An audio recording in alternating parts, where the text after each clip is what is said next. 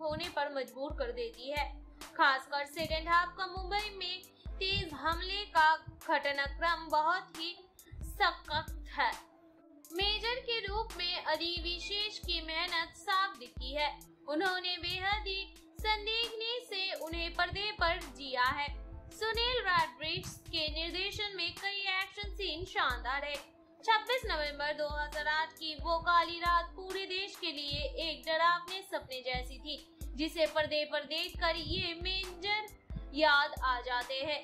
वामसी, पेंची पुल्लूस की सिनेमाटोग्राफी की इससे लिए तारीफ़ करनी होगी। तो आइए जानते हैं फ़िल्म की कहानी के बारे में। फ़िल्म संदीप उन्नीकृष्णन के पीओके के में प्रवेश करने के साथ शुरू होती है। जिसे पाकिस्तानी सेना एक खतरा मानती है और उसे पीछे हटने का आदेश देती है। जब भारतीय सेना के अधिकारियों से पूछा गया कि उनसे ऐसा क्यों किया और ये क्षेत्र पाकिस्तान का है तो उसने जवाब दिया, ये हमारा है। युवा संदीप, अपनी बहन संध्या और अपने माता पिता के उन्हीं कृष्णा अध्ययन लक्ष्मी के साथ यलहंका, बेंगलोर में बड़े हुए हैं।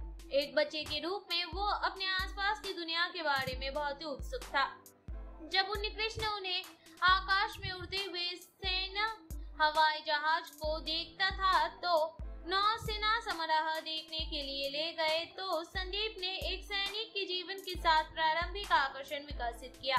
माध्यमिक विद्यालय के छात्र के रूप में अपने बाद के वर्षों में संदीप को अपने सहपाठी ईर्षा से प्यार हो जाता है।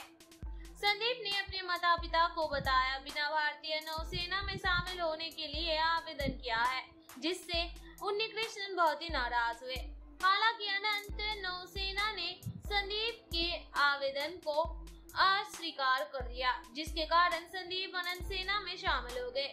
जैसे जैसे साल बीते गए, संदीप ने एनएसजी प्रशिक्षण अधिकारी बनने के लिए रैंक बढ़ाए। 2008 में संदीप एनएसजी के इक्यावन स्पेशल एक्शन ग्रुप के लिए एक प्रशिक्षण अधिकारी के रूप में अपने करियर में अच्छी तरह से स्थापित हो गए और ईशा से शादी कर ली। लेकिन उनकी शादी मुश्किल में है। संदीप ने कोशिश करने और अपनी शादी को बचाने के लिए छुट्टी मांगी। संदीप की छुट्टी के दिन हालाँकि पाकिस्तानी आतंकवादी नाव से मुंबई पहुँचने हैं और वो शहर में घातक हमले करने के लिए आगे बढ़ते हैं।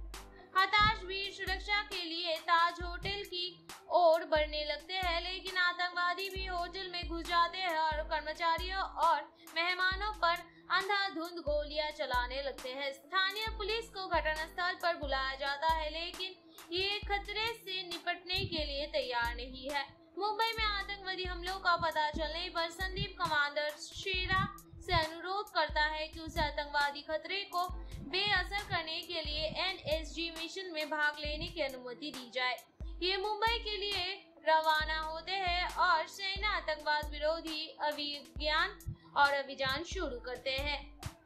ऑपरेशन ब्लैक टोर्नेडो लेकिन एनएसजी की घटनास्थल पर पहुँचने पर बड़ी संख्या में बाधाओं और समस्याओं का सामना करना पड़ता है।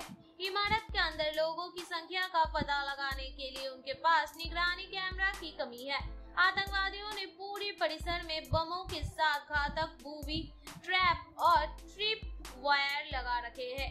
कई होटल के कर्मचारी और मेहमान एक बंद कमरे में एक साथ जमा हो जाते हैं। सभी बंधे हुए हैं और फर्श पर गिरे हुए हैं।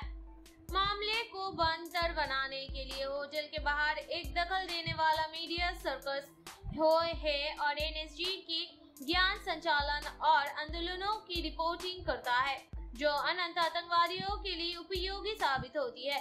इस बीच, प्रमोद रेड्डी नाम का एक अतिथि, जो पंजाबी मंजिल पर फंसा हुआ है और वो पांचवी मंजिल पर फंसा होने के बावजूद खुद को बंदूकधारियों से छुपाने का प्रबंधन करता है।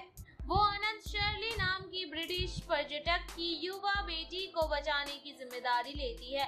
संदीप ईशा से फ़ोन पर बात करता है।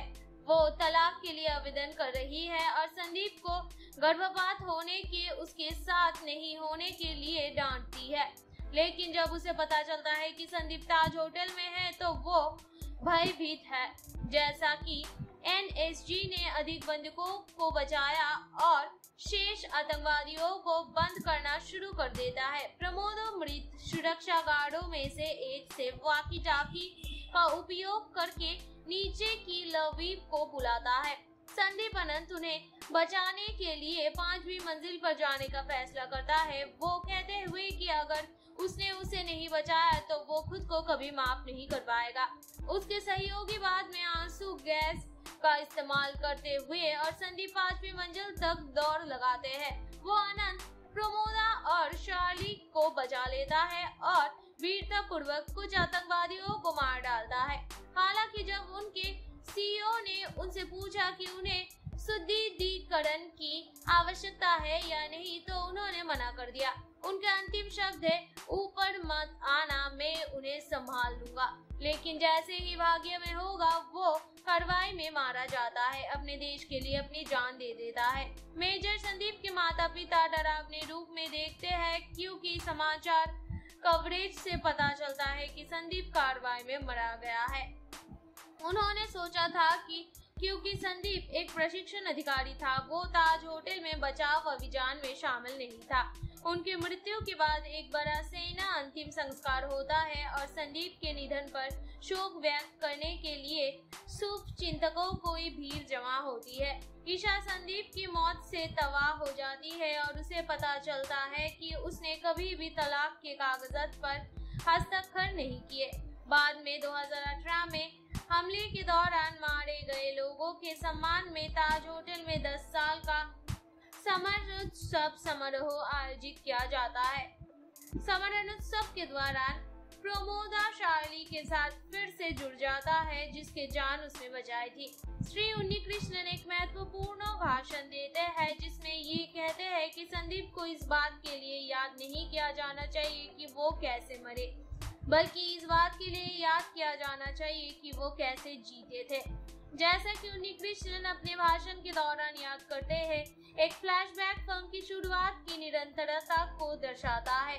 ये दिखाया गया है कि संदीप पाकिस्तान के बच्चों के साथ क्रिकेट खेल रहा था और जब उसे वापस बुलाया गया तो उसने अलविदा कहा और बच्चों से वादा किया कि वो दूसरी बार खेलने आएगा। अदीबी शेष का वन मैन शो बनी फ़िल्म मेजर मुंबई आतंकी हमले की हीरो की अनसुनी कहानी। पर्दे पर अपने लाखों हीरो और उनकी हीरोइंस देखे होंगे। लेकिन अपने देश और लोगों के लिए लड़ते हुए जान छावर करते हुए असल ज़िंदगी के सुपर हीरोज की कहानी देखना एक अलग ही भावनात्मक एहसास और गर्व के जज्बे से भर देता है। 26 बाई 11 के खौफनाक मुंबई हमले में शहीद हुए इक्यावन साल के एनएसजी के बहादुर जवान मेजर संदीप उन्नी कृष्ण की ज़िंदगी पर बनी फ़िल्म मेजर भी कुछ ऐसा ही एहसास जगाती है। बचपन से ही सेना में जाने और देश की सेवा करने का सपना देखने वाले मेजर संदीप उन्नी कृष्णन की बहादुरी, उनका देश को सबसे ऊपर रखना और एक सच्चे सोल्जर के कर्तव्य को निभाना और उनको देश के लिए जान देने का जज्बा रोंगटे खड़े कर देता है। अदीबी शेष लीड रोल में है और वर्दी में छाप छोड़ते हैं। तेलुगु युवा स्टार अदीबी शेष की लिखी और मुख्य भूमिका वाली ये फ़िल्म निश्चित तौर पर मेजर संदीप को एक ईमानदार श्रद्धांजलि है कि कैसे एक सोल्जर देश को अपने परिवार, प्यार, रिश्तों सबसे ऊपर रखता है। शशि किशन टिक्का निर्देशित ये फ़िल्म अंत में आपको भावुक होने पर मजबूर कर देती है। खासकर सेकेंड हाफ़ का मुंबई में तेज हमले का घटनाक्रम बहुत ही सख्त है। मेजर के रूप में अली विशेष की मेहनत साफ़ दिखी है। उन्होंने बेहद ही संदिग्धि से उन्हें पर्दे पर जिया है। सुनील रैड्रिक्स के निर्देशन में कई एक्शन सीन शानदार है। 26 नवंबर 2008 की वो काली रात पूरे देश के लिए एक डरावने सपने जैसी थी, जिसे पर्दे पर देखकर ये मेजर याद आ जाते हैं। वामसी, पेंची पुल्लुस की सिनेमाटोग्राफी की इससे लिए तारीफ़ करनी होगी। तो आइए जानते हैं फ़िल्म की कहानी के बारे में। फ़िल्म संदीप उन्नी कृष्णन के पीओके के में प्रवेश करने के साथ शुरू होती है। जिसे पाकिस्तानी सेना एक खतरा मानती है और उसे पीछे हटने का आदेश देती है। जब भारतीय सेना के अधिकारियों से पूछा गया कि उनसे ऐसा क्यों किया और ये क्षेत्र पाकिस्तान का है तो उसने जवाब दिया, ये हमारा है। युवा संदीप अपनी बहन संध्या और अपने माता पिता के, उन्हीं कृष्णा और ध्यान लक्ष्मी के साथ यलहंका, बेंगलोर में बड़े हुए हैं। एक बच्चे के रूप में वो अपने आसपास की दुनिया के बारे में बहुत ही उत्सुक था। जब उन्हें कृष्ण उन्हें आकाश में उड़ते हुए सेना, हवाई जहाज़ को देखता था तो नौसेना समारोह देखने के लिए ले गए तो संदीप ने एक सैनिक के जीवन के साथ प्रारंभिक आकर्षण विकसित किया। माध्यमिक विद्यालय के छात्र के रूप में अपने बाद के वर्षों में संदीप को अपने सहपाठी ईर्षा से प्यार हो जाता है। संदीप ने अपने माता पिता को बताया, बिना भारतीय नौसेना में शामिल होने के लिए आवेदन किया है, जिससे उन्नी कृष्णन बहुत ही नाराज़ हुए। हालाँकि अनंत नौसेना ने संदीप के आवेदन को अस्वीकार कर दिया जिसके कारण संदीप अनंत सेना में शामिल हो गए। जैसे जैसे साल बीते गए, संदीप ने एनएसजी प्रशिक्षण अधिकारी बनने के लिए रैंक बढ़ाए। 2008 में संदीप एनएसजी के इक्यावन स्पेशल एक्शन ग्रुप के लिए एक प्रशिक्षण अधिकारी के रूप में अपने करियर में अच्छी तरह से स्थापित हो गए और ईशा से शादी कर ली। लेकिन उनकी शादी मुश्किल में है। संदीप ने कोशिश करने और अपनी शादी को बचाने के लिए छुट्टी मांगी। संदीप की छुट्टी के दिन हालाँकि पाकिस्तानी आतंकवादी नाव से मुंबई पहुँचने हैं और वो शहर में घातक हमले करने के लिए आगे बढ़ते हैं। हताश वीर सुरक्षा के लिए ताज होटल की ओर बढ़ने लगते हैं, लेकिन आतंकवादी भी होटल में घुस जाते हैं और कर्मचारियों और मेहमानों पर अंधाधुंध गोलियाँ चलाने लगते हैं। स्थानीय पुलिस को घटनास्थल पर बुलाया जाता है, लेकिन ये खतरे से निपटने के लिए तैयार नहीं है। मुंबई में आतंकवादी हमलों का पता चलने पर संदीप कमांडर शेरा से अनुरोध करता है कि उसे आतंकवादी खतरे को बेअसर करने के लिए एनएसजी मिशन में भाग लेने की अनुमति दी जाए। ये मुंबई के लिए रवाना होते हैं और सेना आतंकवाद विरोधी अभिज्ञान और अभियान शुरू करते हैं। ऑपरेशन ब्लैक टोर्नेडो लेकिन एनएसजी की घटनास्थल पर पहुँचने पर बड़ी संख्या में बाधाओं और समस्याओं का सामना करना पड़ता है। इमारत के अंदर लोगों की संख्या का पता लगाने के लिए उनके पास निगरानी कैमरा की कमी है। आतंकवादियों ने पूरी परिसर में बमों के साथ घातक बूबी, ट्रैप और ट्रिप वायर लगा रखे हैं। कई होटल के कर्मचारी और मेहमान एक बंद कमरे में एक साथ जमा हो जाते हैं। सभी बंधे हुए हैं और फर्श पर गिरे हुए हैं। मामले को बंतर बनाने के लिए होटल के बाहर एक दखल देने वाला मीडिया सर्कस हो है और एनएसजी की ज्ञान संचालन और आंदोलनों की रिपोर्टिंग करता है, जो अनंत आतंकवादियों के लिए उपयोगी साबित होती है। इस बीच, प्रमोद रेड्डी नाम का एक अतिथि, जो पंजाबी मंजिल पर फंसा हुआ है और वो पांचवी मंजिल पर फंसा होने के बावजूद खुद को बंदूकधारियों से छुपाने का प्रबंधन करता है। वो अनंत शर्ली नाम की ब्रिटिश पर्यटक की युवा बेटी को बचाने की ज़िम्मेदारी लेती है। संदीप ईशा से फ़ोन पर बात करता है। वो तलाक के लिए आवेदन कर रही है और संदीप को गर्भपात होने के, उसके साथ नहीं होने के लिए डांटती है। लेकिन जब उसे पता चलता है कि संदीप ताज होटल में है तो वो भयभीत है। जैसा कि एनएसजी ने अधिक बंदूकों को बचाया और शेष आतंकवादियों को बंद करना शुरू कर देता है। प्रमोद मृत सुरक्षा गार्डो में से एक से वाकी टाकी का उपयोग करके नीचे की लवीप को बुलाता है।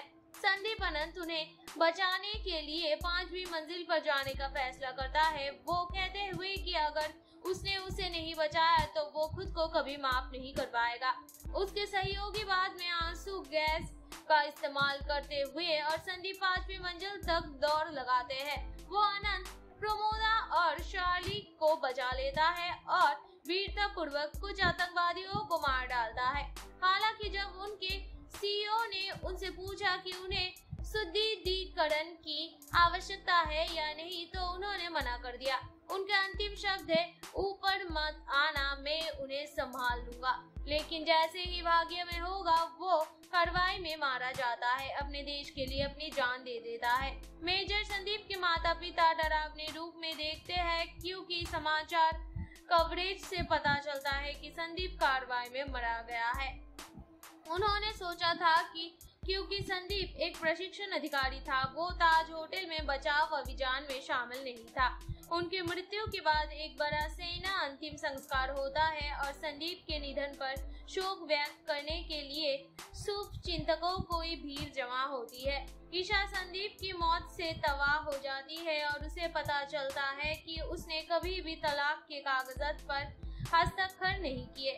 बाद में 2018 में हमले के दौरान मारे गए लोगों के सम्मान में ताज होटल में 10 साल का समरोत्सव समारोह आयोजित किया जाता है।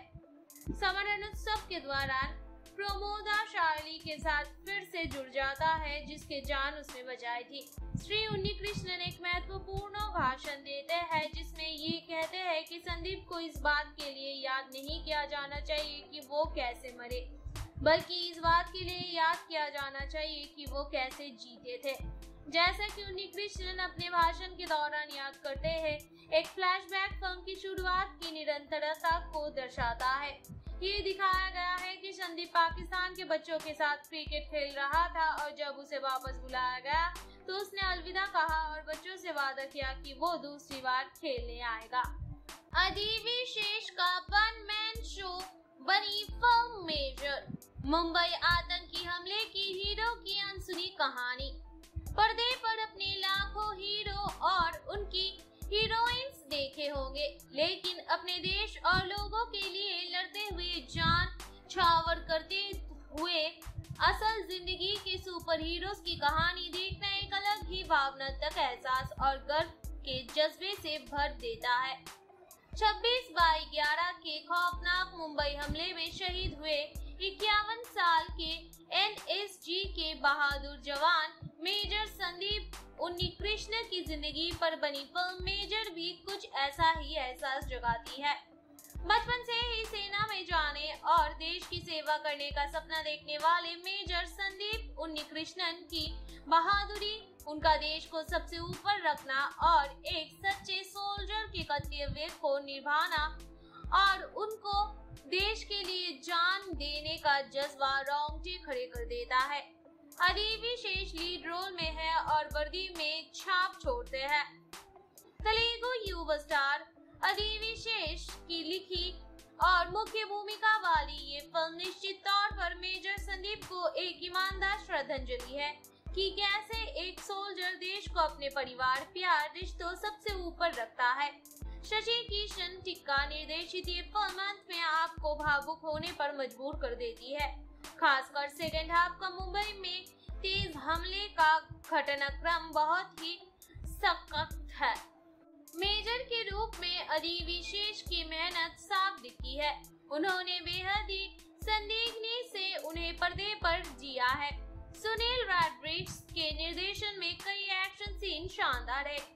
26 नवंबर 2008 की वो काली रात पूरे देश के लिए एक डरावने सपने जैसी थी, जिसे पर्दे पर देखकर ये मेजर याद आ जाते हैं। वामसी, पेंची पुल्लूस की सिनेमाटोग्राफी की इससे लिए तारीफ़ करनी होगी। तो आइए जानते हैं फ़िल्म की कहानी के बारे में। फ़िल्म संदीप उन्नीकृष्णन के पीओके के में प्रवेश करने के साथ शुरू होती है। जिसे पाकिस्तानी सेना एक खतरा मानती है और उसे पीछे हटने का आदेश देती है।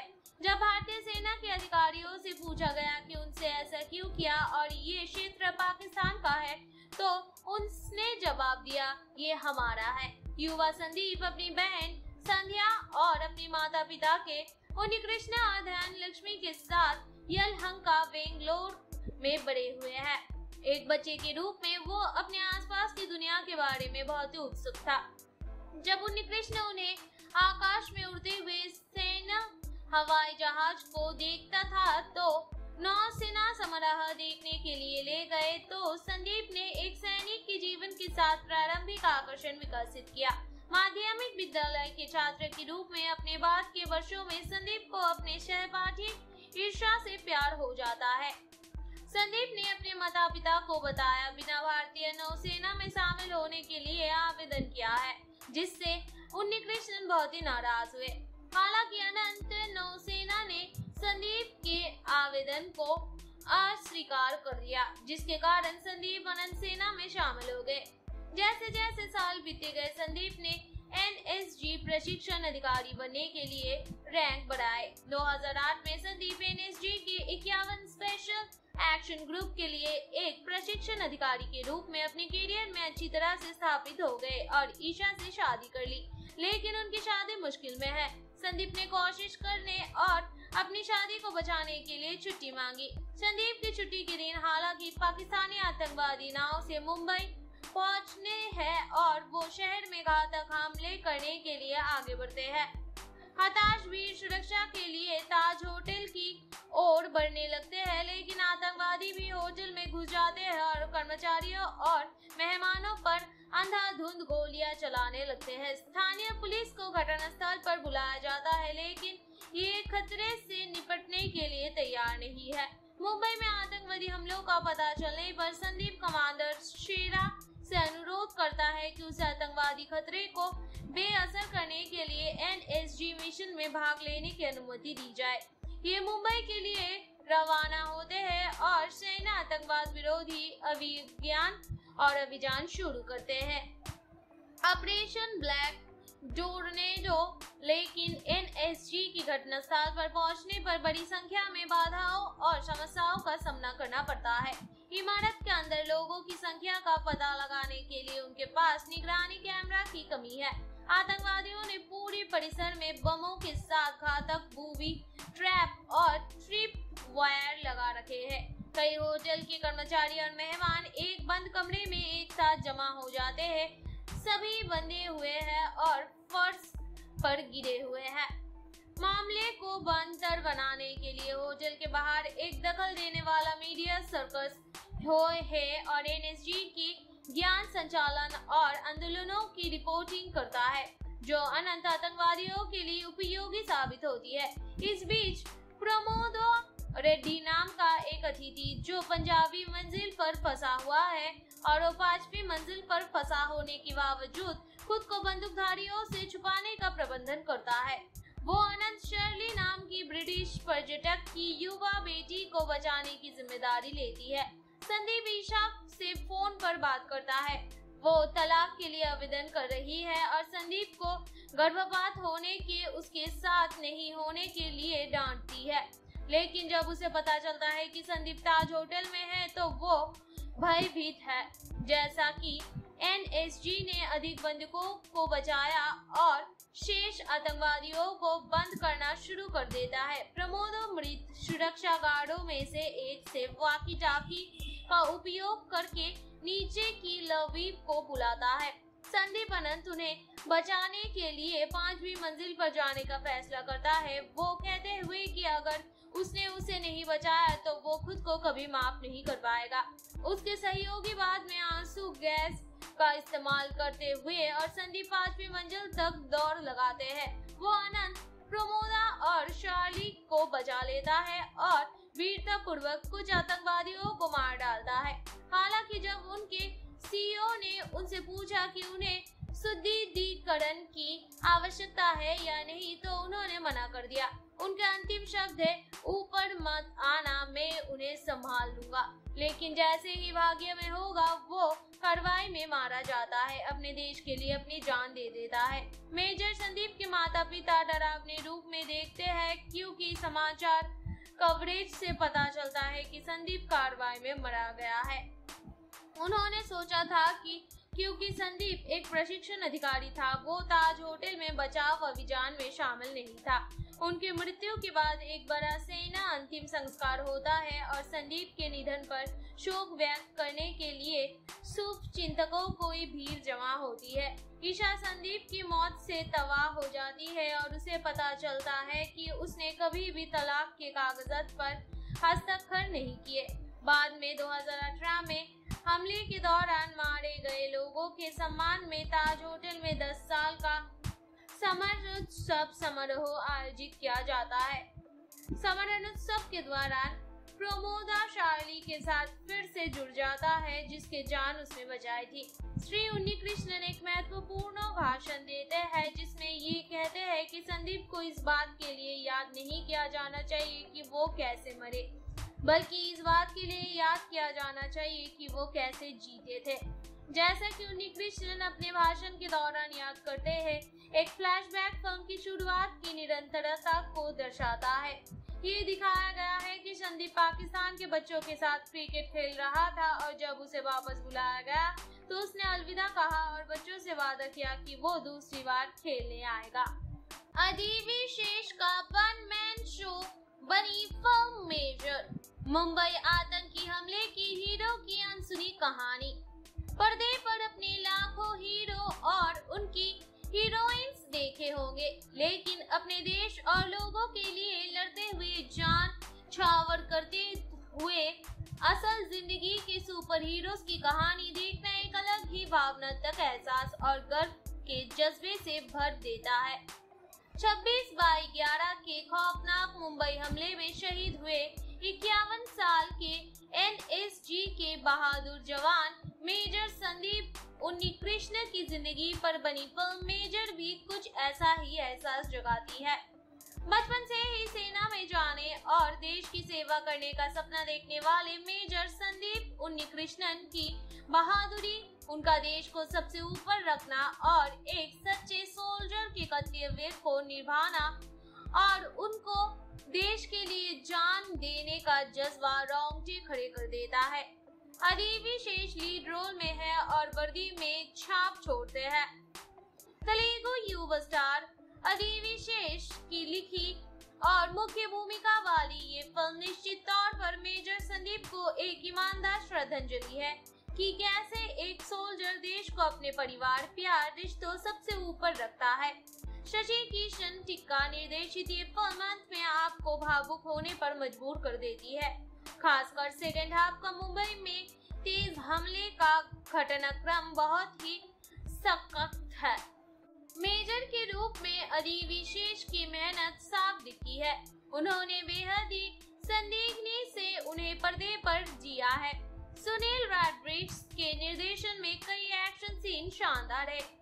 26 नवंबर 2008 की वो काली रात पूरे देश के लिए एक डरावने सपने जैसी थी, जिसे पर्दे पर देखकर ये मेजर याद आ जाते हैं। वामसी, पेंची पुल्लुस की सिनेमाटोग्राफी की इससे लिए तारीफ़ करनी होगी। तो आइए जानते हैं फ़िल्म की कहानी के बारे में फ़िल्म संदीप उन्नीकृष्णन के पीओके के में प्रवेश करने के साथ शुरू होती है। जिसे पाकिस्तानी सेना एक खतरा मानती है और उसे पीछे हटने का आदेश देती है।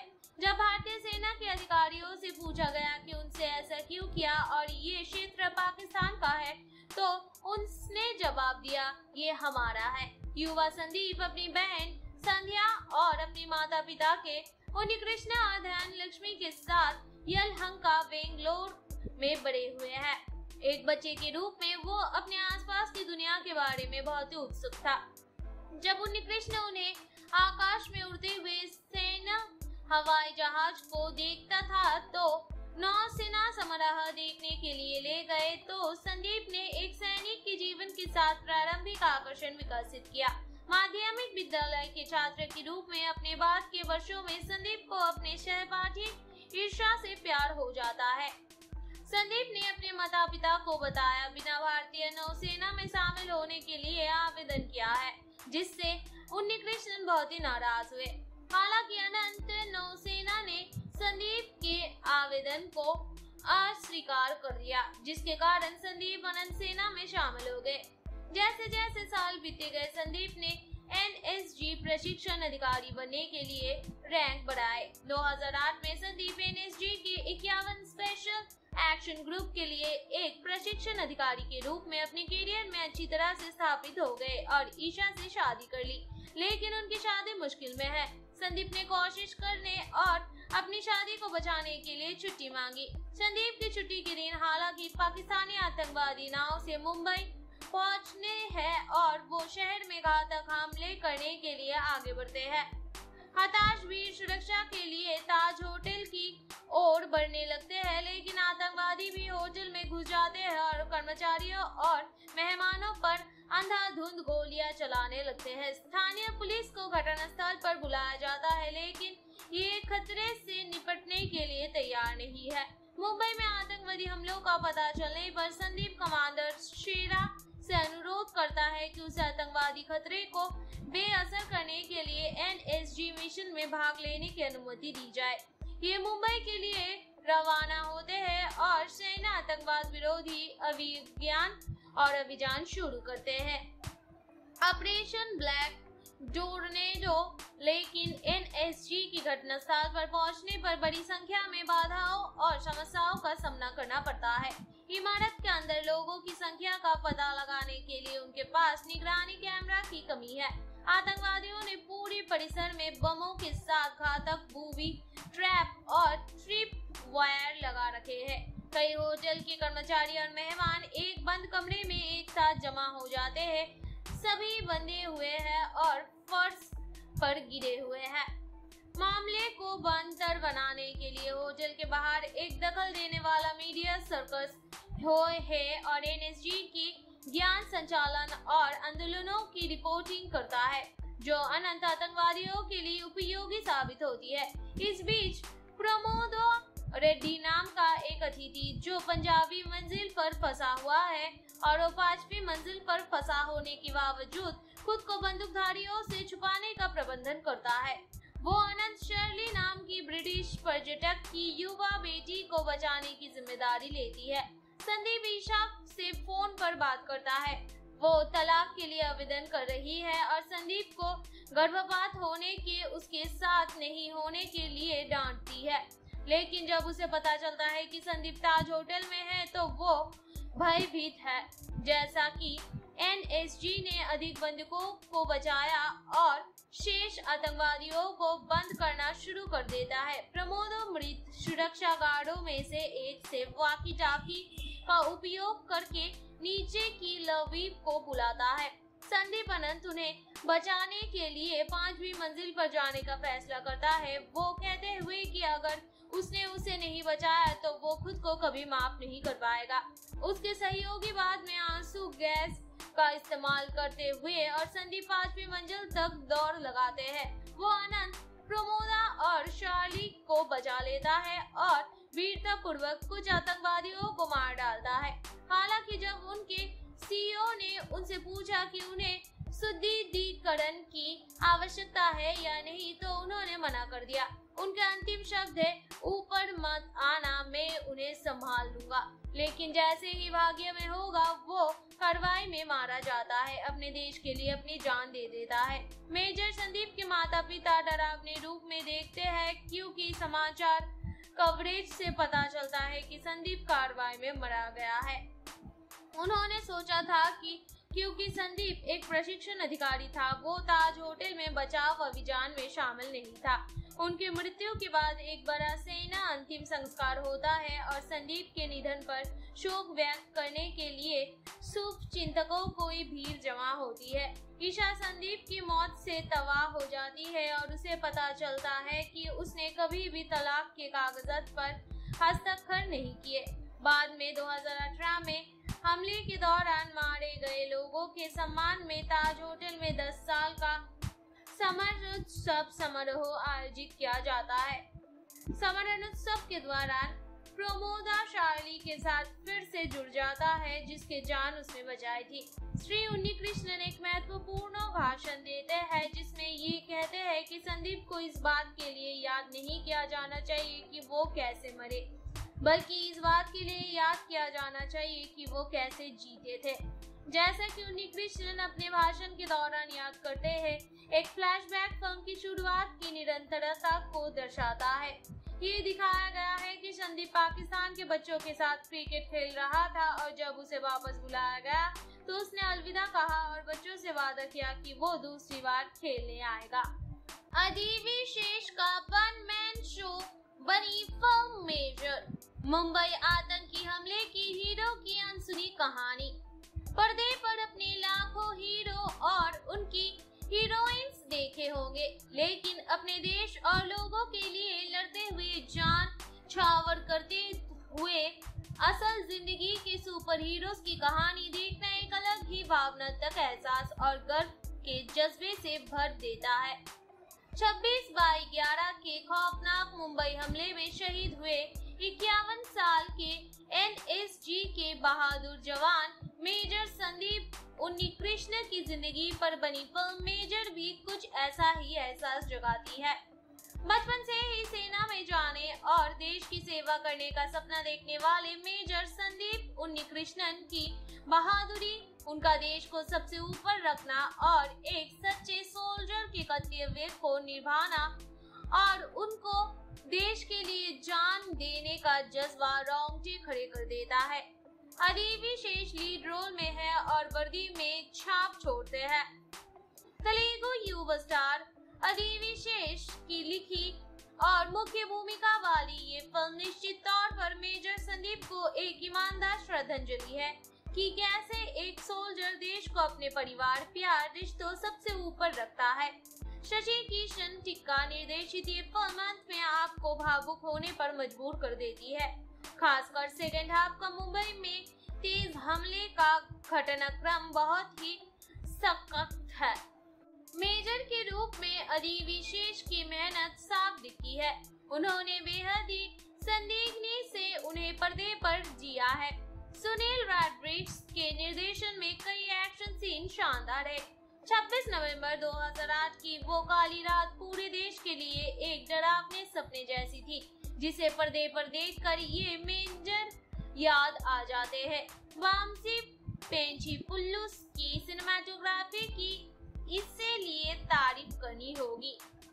तो आइए जानते हैं फ़िल्म की कहानी के बारे में। फ़िल्म संदीप उन्नीकृष्णन के पीओके के में प्रवेश करने के साथ शुरू होती है, जिसे पाकिस्तानी सेना एक खतरा मानती है और उसे पीछे हटने का आदेश देती है। जब भारतीय सेना के अधिकारियों से पूछा गया कि उनसे ऐसा क्यों किया और ये क्षेत्र पाकिस्तान का है तो उसने जवाब दिया, ये हमारा है। युवा संदीप, अपनी बहन संध्या और अपने माता पिता के उन्हीं कृष्णा और ध्यान लक्ष्मी के साथ यलहंका, बेंगलोर में बड़े हुए हैं। एक बच्चे के रूप में वो अपने आसपास की दुनिया के बारे में बहुत ही उत्सुक था। जब उन्हीं कृष्ण उन्हें आकाश में उड़ते हुए सेना हवाई जहाज़ को देखता था तो नौसेना समारोह देखने के लिए ले गए तो संदीप ने एक सैनिक के जीवन के साथ प्रारंभिक आकर्षण विकसित किया। माध्यमिक विद्यालय के छात्र के रूप में अपने बाद के वर्षों में संदीप को अपने सहपाठी ईर्षा से प्यार हो जाता है।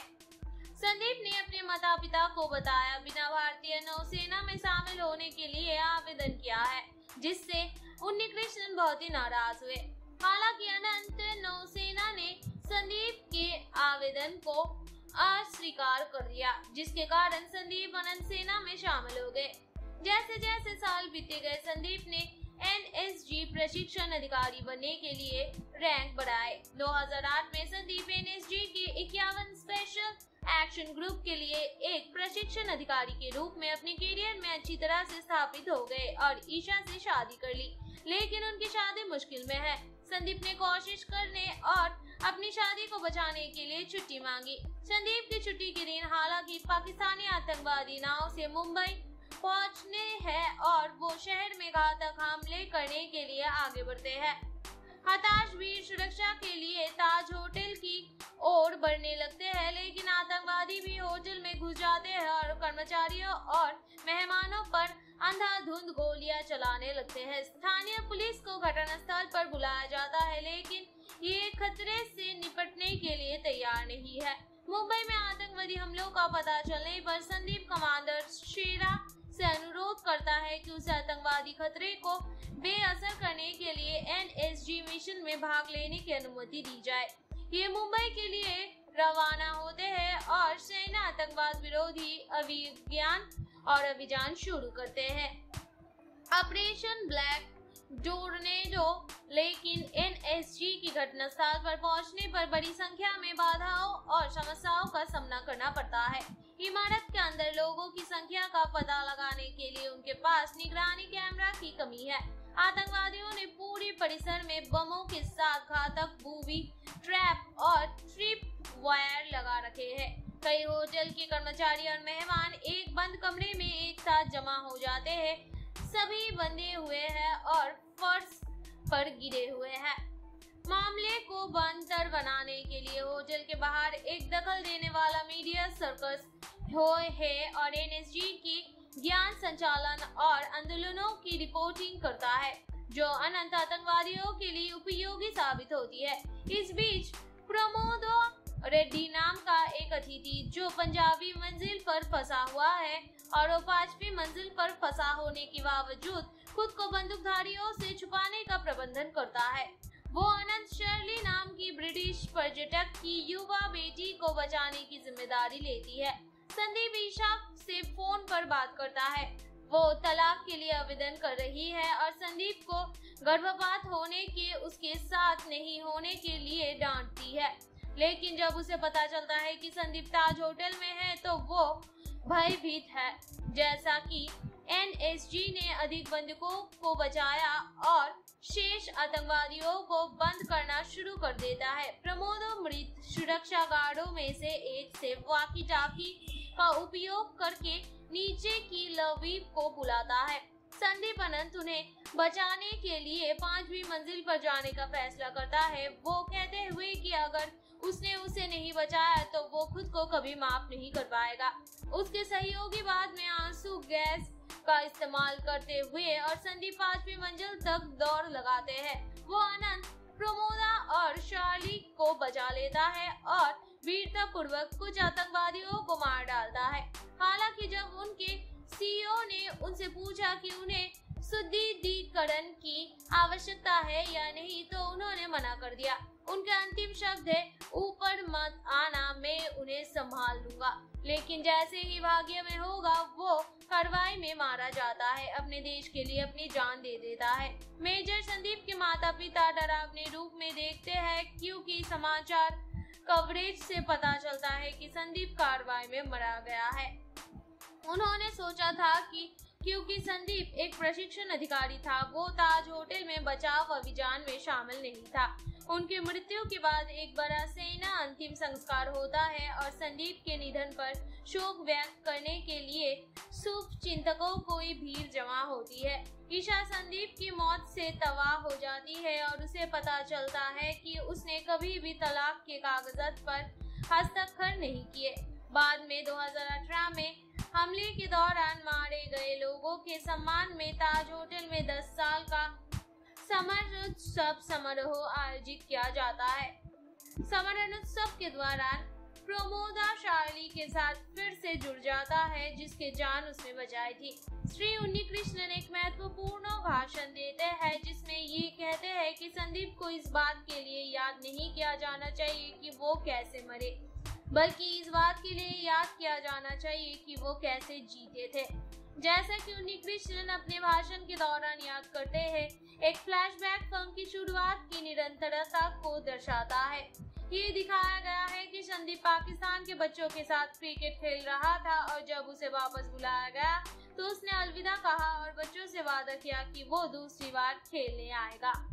अदीबी शेष का वन मैन शो बनी फ़िल्म मेजर मुंबई आतंकी हमले की हीरो की अनसुनी कहानी। पर्दे पर अपने लाखों हीरो और उनकी हीरोइंस देखे होंगे। लेकिन अपने देश और लोगों के लिए लड़ते हुए जान छावर करते हुए असल ज़िंदगी के सुपर हीरोज की कहानी देखना एक अलग ही भावनात्मक एहसास और गर्व के जज्बे से भर देता है। 26 बाई 11 के खौफनाक मुंबई हमले में शहीद हुए इक्यावन साल के एनएसजी के बहादुर जवान मेजर संदीप उन्नी कृष्ण की ज़िंदगी पर बनी फ़िल्म मेजर भी कुछ ऐसा ही एहसास जगाती है। बचपन से ही सेना में जाने और देश की सेवा करने का सपना देखने वाले मेजर संदीप उन्नी कृष्णन की बहादुरी, उनका देश को सबसे ऊपर रखना और एक सच्चे सोल्जर के कर्तव्य को निभाना और उनको देश के लिए जान देने का जज्बा रोंगटे खड़े कर देता है। अदीबी शेष लीड रोल में है और वर्दी में छाप छोड़ते हैं। तेलुगु युवा स्टार अदीबी शेष की लिखी और मुख्य भूमिका वाली ये फ़िल्म निश्चित तौर पर मेजर संदीप को एक ईमानदार श्रद्धांजलि है कि कैसे एक सोल्जर देश को अपने परिवार, प्यार, रिश्तों सबसे ऊपर रखता है। शशि किशन टिक्का निर्देशित ये फ़िल्म अंत में आपको भावुक होने पर मजबूर कर देती है। खासकर सेकेंड हाफ़ का मुंबई में तेज हमले का घटनाक्रम बहुत ही सख्त है। मेजर के रूप में अली विशेष की मेहनत साफ़ दिखती है। उन्होंने बेहद ही संदिग्धि से उन्हें पर्दे पर जिया है। सुनील रैडब्रिक्स के निर्देशन में कई एक्शन सीन शानदार है। 26 नवंबर 2008 की वो काली रात पूरे देश के लिए एक डरावने सपने जैसी थी, जिसे पर्दे पर देख कर ये मेजर याद आ जाते हैं। वामसी, पेंची पुल्लुस की सिनेमाटोग्राफी की इससे लिए तारीफ़ करनी होगी। तो आइए जानते हैं फ़िल्म की कहानी के बारे में फ़िल्म संदीप उन्नी कृष्णन के पीओके के में प्रवेश करने के साथ शुरू होती है। जिसे पाकिस्तानी सेना एक खतरा मानती है और उसे पीछे हटने का आदेश देती है। जब भारतीय सेना के अधिकारियों से पूछा गया कि उनसे ऐसा क्यों किया और ये क्षेत्र पाकिस्तान का है तो उसने जवाब दिया, ये हमारा है। युवा संदीप, अपनी बहन संध्या और अपने माता पिता के उन्हीं कृष्णा ध्यान लक्ष्मी के साथ यलहंका, बेंगलोर में बड़े हुए हैं। एक बच्चे के रूप में वो अपने आसपास की दुनिया के बारे में बहुत ही उत्सुक था। जब उन्नी कृष्ण उन्हें आकाश में उड़ते हुए सेना, हवाई जहाज़ को देखता था तो नौसेना समारोह देखने के लिए ले गए तो संदीप ने एक सैनिक के जीवन के साथ प्रारंभिक आकर्षण विकसित किया। माध्यमिक विद्यालय के छात्र के रूप में अपने बाद के वर्षों में संदीप को अपने सहपाठी ईर्षा से प्यार हो जाता है। संदीप ने अपने माता पिता को बताया, बिना भारतीय नौसेना में शामिल होने के लिए आवेदन किया है, जिससे उन्नी कृष्णन बहुत ही नाराज़ हुए।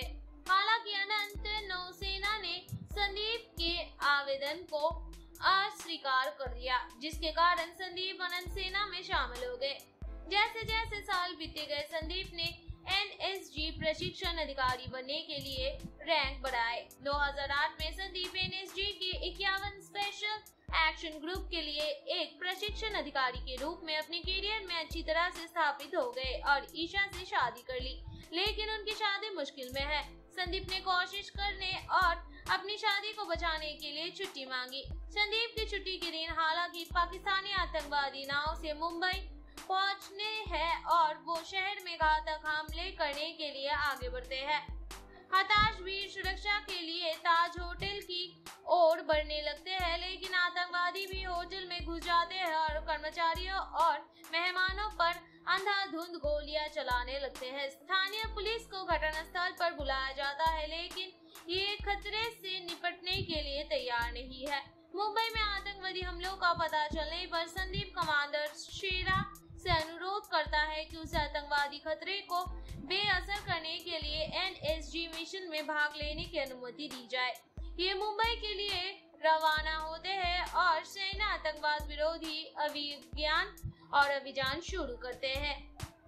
ऑपरेशन ब्लैक टोर्नेडो लेकिन एनएसजी की घटनास्थल पर पहुँचने पर बड़ी संख्या में बाधाओं और समस्याओं का सामना करना पड़ता है। इमारत के अंदर लोगों की संख्या का पता लगाने के लिए उनके पास निगरानी कैमरा की कमी है। आतंकवादियों ने पूरे परिसर में बमों के साथ घातक बूबी ट्रैप और ट्रिप वायर लगा रखे हैं। कई होटल के कर्मचारी और मेहमान एक बंद कमरे में एक साथ जमा हो जाते हैं। सभी बंधे हुए हैं और फर्श पर गिरे हुए हैं। मामले को बंतर बनाने के लिए होटल के बाहर एक दखल देने वाला मीडिया सर्कस हो है और एनएसजी की ज्ञान संचालन और आंदोलनों की रिपोर्टिंग करता है, जो अनंत आतंकवादियों के लिए उपयोगी साबित होती है। इस बीच, प्रमोद रेड्डी नाम का एक अतिथि, जो पंजाबी मंजिल पर फंसा हुआ है, और वो पांचवी मंजिल पर फंसा होने के बावजूद खुद को बंदूकधारियों से छुपाने का प्रबंधन करता है। वो अनंत शर्ली नाम की ब्रिटिश पर्यटक की युवा बेटी को बचाने की ज़िम्मेदारी लेती है। संदीप ईशा से फ़ोन पर बात करता है। वो तलाक के लिए आवेदन कर रही है और संदीप को गर्भपात होने के, उसके साथ नहीं होने के लिए डांटती है।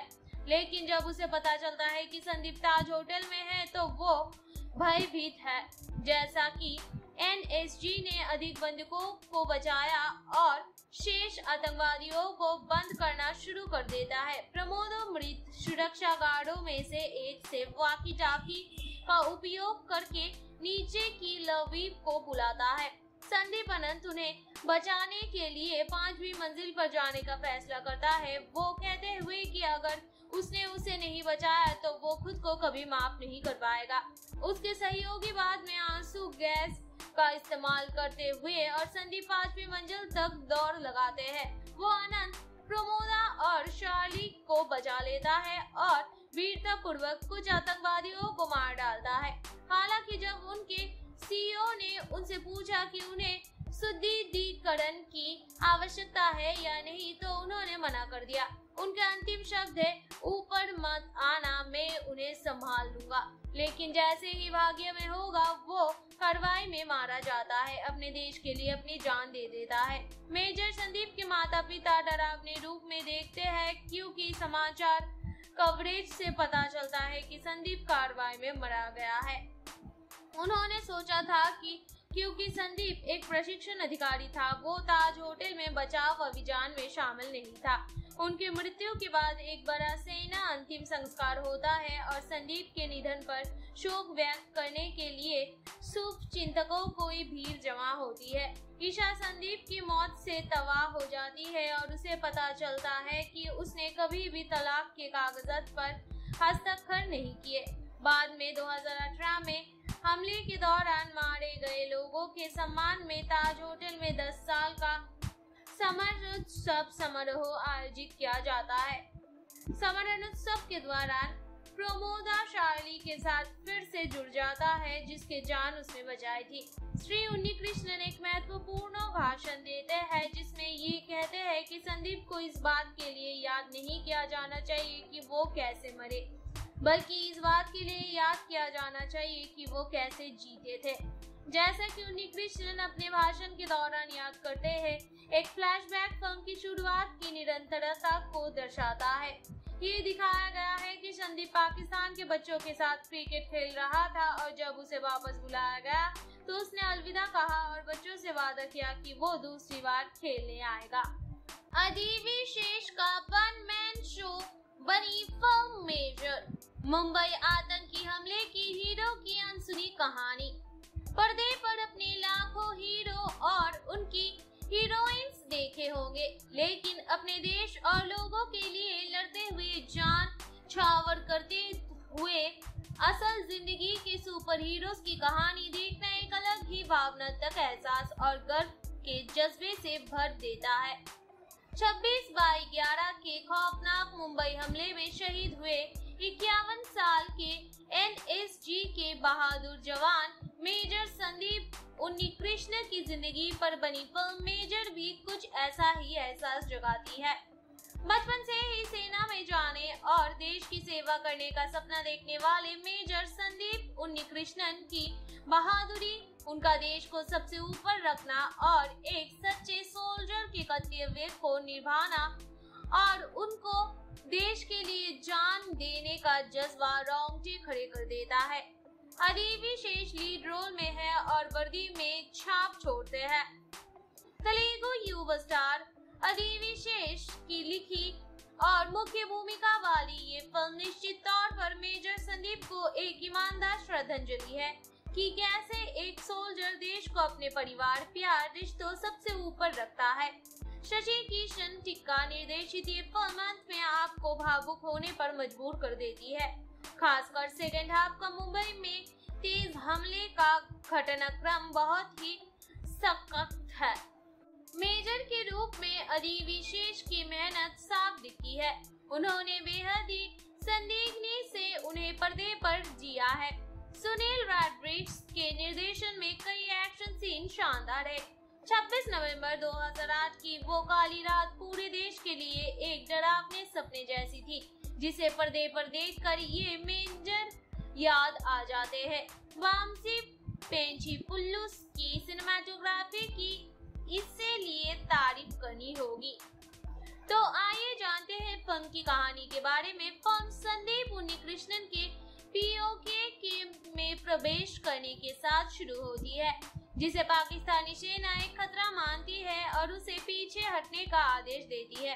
जब भारतीय सेना के अधिकारियों से पूछा गया कि उनसे ऐसा क्यों किया और ये क्षेत्र पाकिस्तान का है तो उसने जवाब दिया, ये हमारा है। युवा संदीप अपनी बहन संध्या और अपने माता पिता के, उन्हीं कृष्णा और ध्यान लक्ष्मी के साथ यलहंका, बेंगलोर में बड़े हुए हैं। एक बच्चे के रूप में वो अपने आसपास की दुनिया के बारे में बहुत ही उत्सुक था।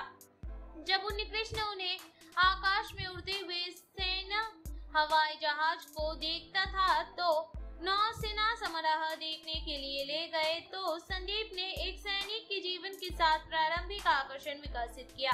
माध्यमिक विद्यालय के छात्र के रूप में अपने बाद के वर्षों में संदीप को अपने सहपाठी ईर्षा से प्यार हो जाता है। संदीप ने अपने माता पिता को बताया, बिना भारतीय नौसेना में शामिल होने के लिए आवेदन किया है, जिससे उन्नी कृष्णन बहुत ही नाराज़ हुए। हालाँकि अनंत नौसेना ने संदीप के आवेदन को अस्वीकार कर दिया जिसके कारण संदीप अनंत सेना में शामिल हो गए। जैसे जैसे साल बीते गए, संदीप ने एनएसजी प्रशिक्षण अधिकारी बनने के लिए रैंक बढ़ाए। 2008 में संदीप एनएसजी के इक्यावन एक्शन ग्रुप के लिए एक प्रशिक्षण अधिकारी के रूप में अपने करियर में अच्छी तरह से स्थापित हो गए और ईशा से शादी कर ली। लेकिन उनकी शादी मुश्किल में है। संदीप ने कोशिश करने और अपनी शादी को बचाने के लिए छुट्टी मांगी। संदीप की छुट्टी के दिन हालाँकि पाकिस्तानी आतंकवादी नाव से मुंबई पहुँचने हैं और वो शहर में घातक हमले करने के लिए आगे बढ़ते हैं। हताश वीर सुरक्षा के लिए ताज होटल की ओर बढ़ने लगते हैं, लेकिन आतंकवादी भी होटल में घुस जाते हैं और कर्मचारियों और मेहमानों पर अंधाधुंध गोलियाँ चलाने लगते हैं। स्थानीय पुलिस को घटनास्थल पर बुलाया जाता है, लेकिन ये खतरे से निपटने के लिए तैयार नहीं है। मुंबई में आतंकवादी हमलों का पता चलने पर संदीप कमांडर शेरा से अनुरोध करता है कि उसे आतंकवादी खतरे को बेअसर करने के लिए एनएसजी मिशन में भाग लेने की अनुमति दी जाए। ये मुंबई के लिए रवाना होते हैं और सेना आतंकवाद विरोधी अभिज्ञान और अभियान शुरू करते हैं। ऑपरेशन ब्लैक टोर्नेडो लेकिन एनएसजी की घटनास्थल पर पहुँचने पर बड़ी संख्या में बाधाओं और समस्याओं का सामना करना पड़ता है। इमारत के अंदर लोगों की संख्या का पता लगाने के लिए उनके पास निगरानी कैमरा की कमी है।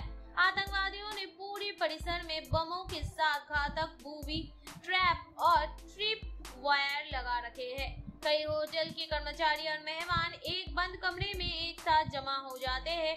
सभी बंधे हुए हैं और फर्श पर गिरे हुए हैं। मामले को बंतर बनाने के लिए होटल के बाहर एक दखल देने वाला मीडिया सर्कस हो है और एनएसजी की ज्ञान संचालन और आंदोलनों की रिपोर्टिंग करता है, जो अनंत आतंकवादियों के लिए उपयोगी साबित होती है। इस बीच, प्रमोदो रेड्डी नाम का एक अतिथि, जो पंजाबी मंजिल पर फंसा हुआ है और वो पांचवी मंजिल पर फंसा होने के बावजूद खुद को बंदूकधारियों से छुपाने का प्रबंधन करता है। वो अनंत शर्ली नाम की ब्रिटिश पर्यटक की युवा बेटी को बचाने की ज़िम्मेदारी लेती है।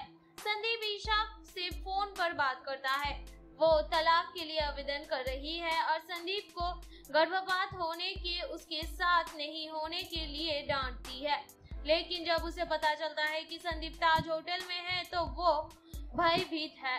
जैसा कि एनएसजी ने अधिक बंदूकों को बचाया और शेष आतंकवादियों को बंद करना शुरू कर देता है। प्रमोद मृत सुरक्षा गार्डो में से एक से वाकी टाकी का उपयोग करके नीचे की लवीप को बुलाता है।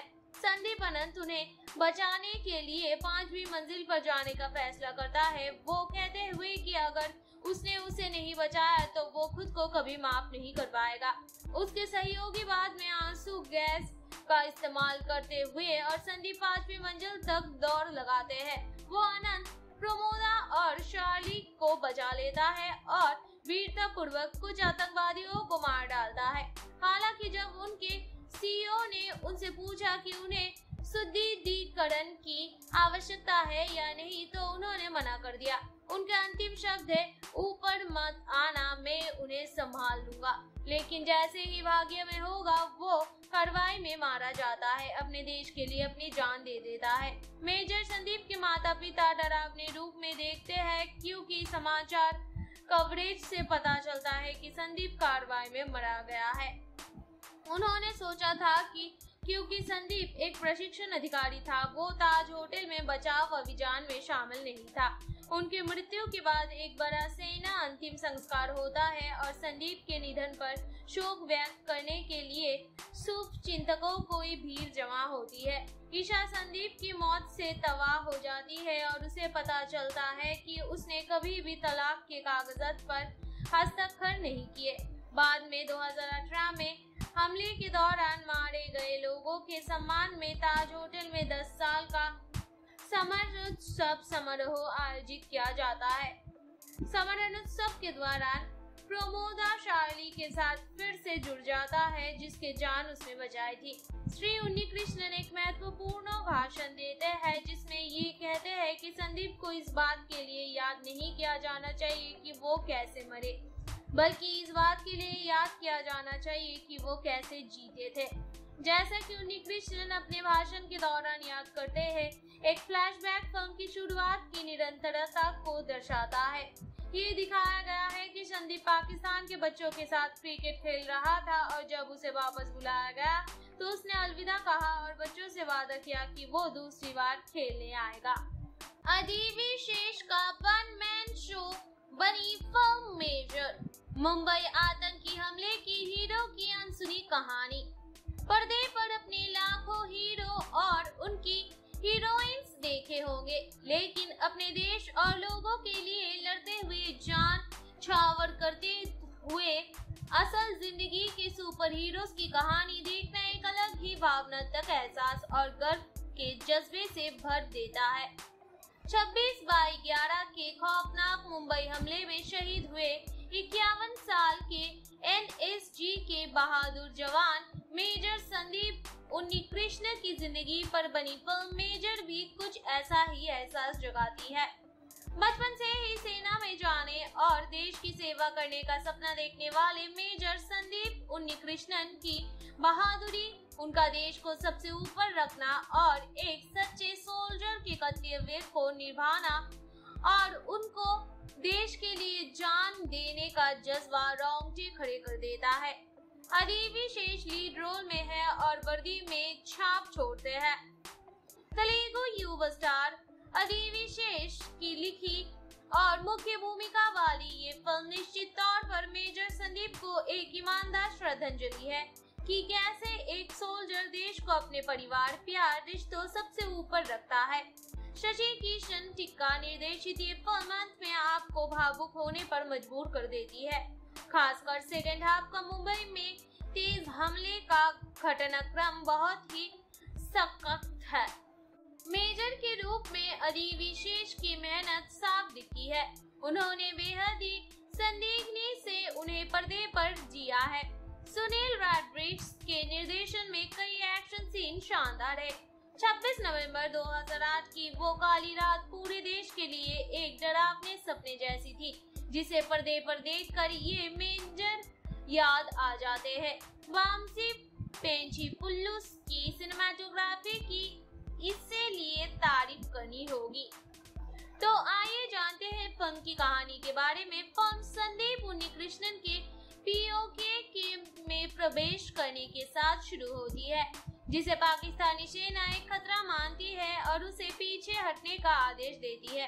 जब भारतीय सेना के अधिकारियों से पूछा गया कि उनसे ऐसा क्यों किया और ये क्षेत्र पाकिस्तान का है तो उसने जवाब दिया, ये हमारा है। युवा संदीप अपनी बहन संध्या और अपने माता पिता के, उन्हीं कृष्णा ध्यान लक्ष्मी के साथ यलहंका, बेंगलोर में बड़े हुए हैं।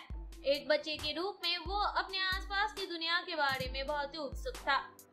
जब उन्हीं कृष्ण उन्हें आकाश में उड़ते हुए सेना, हवाई जहाज़ को देखता था तो नौसेना समारोह देखने के लिए ले गए तो संदीप ने एक सैनिक के जीवन के साथ प्रारंभिक आकर्षण विकसित किया।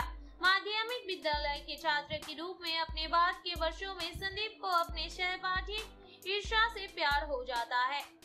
संदीप ने अपने को बताया, बिना भारतीय नौसेना में शामिल होने के लिए आवेदन किया है, जिससे उन्नी कृष्णन बहुत ही नाराज़ हुए। हालाँकि अनंत नौसेना ने संदीप के आवेदन को अस्वीकार कर दिया, जिसके कारण संदीप अनंत सेना में शामिल हो गए। जैसे जैसे साल बीते गए, संदीप ने एनएसजी प्रशिक्षण अधिकारी बनने के लिए रैंक बढ़ाए। 2008 में संदीप एनएसजी के इक्यावन स्पेशल एक्शन ग्रुप के लिए एक प्रशिक्षण अधिकारी के रूप में अपने करियर में अच्छी तरह से स्थापित हो गए और ईशा से शादी कर ली। लेकिन उनकी शादी मुश्किल में है। संदीप ने कोशिश करने और अपनी शादी को बचाने के लिए छुट्टी मांगी। संदीप की छुट्टी के दिन हालाँकि पाकिस्तानी आतंकवादी नाव से मुंबई पहुँचने हैं और वो शहर में घातक हमले करने के लिए आगे बढ़ते हैं।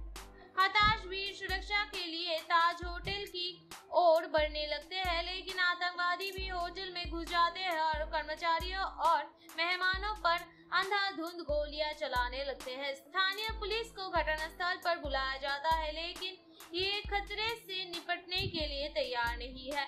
मुंबई में आतंकवादी हमलों का पता चलने पर संदीप कमांडर शेरा से अनुरोध करता है कि उसे आतंकवादी खतरे को बेअसर करने के लिए एनएसजी मिशन में भाग लेने की अनुमति दी जाए।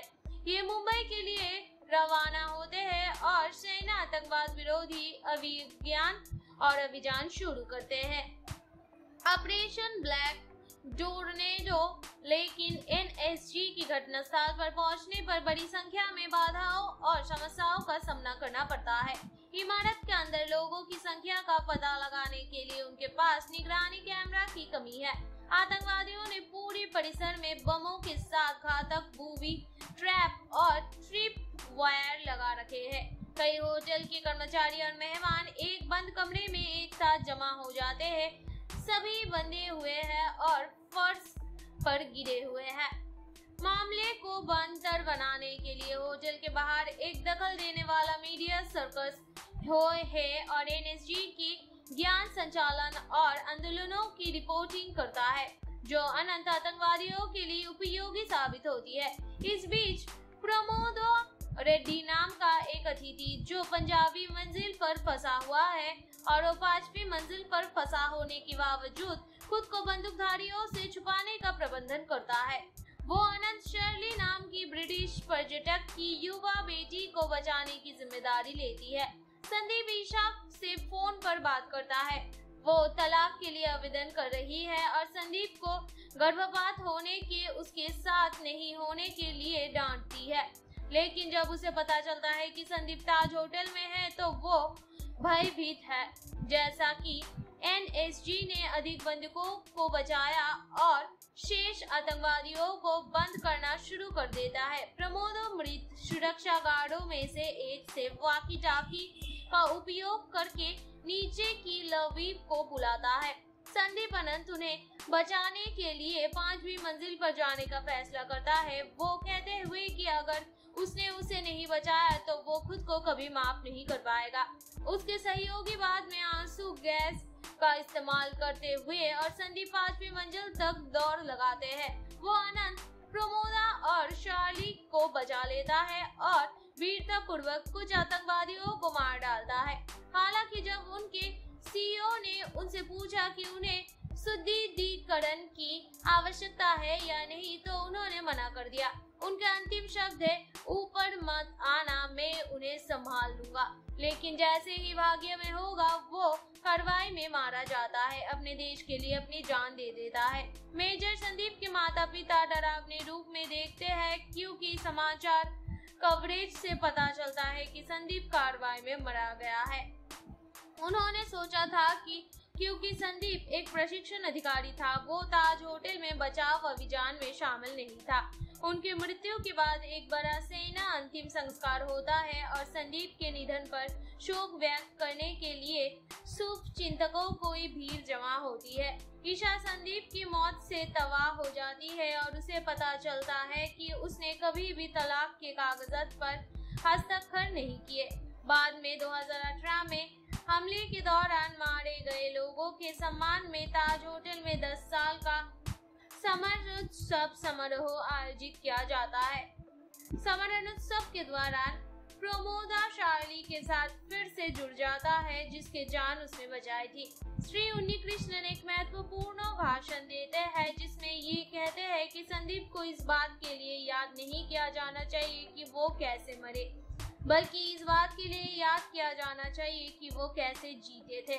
जैसा कि उन्नी कृष्णन अपने भाषण के दौरान याद करते हैं एक फ्लैशबैक फ़िल्म की शुरुआत की निरंतरता को दर्शाता है। ये दिखाया गया है कि संदीप पाकिस्तान के बच्चों के साथ क्रिकेट खेल रहा था और जब उसे वापस बुलाया गया तो उसने अलविदा कहा और बच्चों से वादा किया कि वो दूसरी बार खेलने आएगा। अदीबी शेष का वन मैन शो बनी फ़िल्म मेजर मुंबई आतंकी हमले की हीरो की अनसुनी कहानी। पर्दे पर अपने लाखों हीरो और उनकी हीरोइंस देखे होंगे, लेकिन अपने देश और लोगों के लिए लड़ते हुए जान छावर करते हुए असल ज़िंदगी के सुपर हीरोज की कहानी देखना एक अलग ही भावनात्मक एहसास और गर्व के जज्बे से भर देता है। 26 बाई 11 के खौफनाक मुंबई हमले में शहीद हुए इक्यावन साल के एनएसजी के बहादुर जवान मेजर संदीप उन्नी कृष्ण की ज़िंदगी पर बनी फ़िल्म मेजर भी कुछ ऐसा ही एहसास जगाती है। बचपन से ही सेना में जाने और देश की सेवा करने का सपना देखने वाले मेजर संदीप उन्नी कृष्णन की बहादुरी, उनका देश को सबसे ऊपर रखना और एक सच्चे सोल्जर के कर्तव्य को निभाना और उनको देश के लिए जान देने का जज्बा रोंगटे खड़े कर देता है। अदीबी शेष लीड रोल में है और वर्दी में छाप छोड़ते हैं। तेलुगु युवा स्टार अदीबी शेष की लिखी और मुख्य भूमिका वाली ये फ़िल्म निश्चित तौर पर मेजर संदीप को एक ईमानदार श्रद्धांजलि है कि कैसे एक सोल्जर देश को अपने परिवार, प्यार, रिश्तों सबसे ऊपर रखता है। शशि किशन टिक्का निर्देशित ये फ़िल्म अंत में आपको भावुक होने पर मजबूर कर देती है। खासकर सेकेंड हाफ़ का मुंबई में तेज हमले का घटनाक्रम बहुत ही सख्त है। मेजर के रूप में अली विशेष की मेहनत साफ़ दिखी है। उन्होंने बेहद ही संदिग्धि से उन्हें पर्दे पर जिया है। सुनील रैड्रिक्स के निर्देशन में कई एक्शन सीन शानदार है। 26 नवंबर 2008 की वो काली रात पूरे देश के लिए एक डरावने सपने जैसी थी। जिसे पर्दे पर देखकर ये मेजर याद आ जाते हैं। वामसी, पेंची पुल्लुस की सिनेमाटोग्राफी की इससे लिए तारीफ़ करनी होगी। तो आइए जानते हैं फ़िल्म की कहानी के बारे में। फ़िल्म संदीप उन्नीकृष्णन के पीओके के में प्रवेश करने के साथ शुरू होती है, जिसे पाकिस्तानी सेना एक खतरा मानती है और उसे पीछे हटने का आदेश देती है। जब भारतीय सेना के अधिकारियों से पूछा गया कि उनसे ऐसा क्यों किया और ये क्षेत्र पाकिस्तान का है तो उसने जवाब दिया, ये हमारा है। युवा संदीप, अपनी बहन संध्या और अपने माता पिता के, उन्हीं कृष्णा ध्यान लक्ष्मी के साथ यलहंका, बेंगलोर में बड़े हुए हैं। एक बच्चे के रूप में वो अपने आसपास की दुनिया के बारे में बहुत ही उत्सुक था। जब उन्हीं कृष्ण उन्हें आकाश में उड़ते हुए सेना हवाई जहाज़ को देखता था तो नौसेना समारोह देखने के लिए ले गए तो संदीप ने एक सैनिक के जीवन के साथ प्रारंभिक आकर्षण विकसित किया।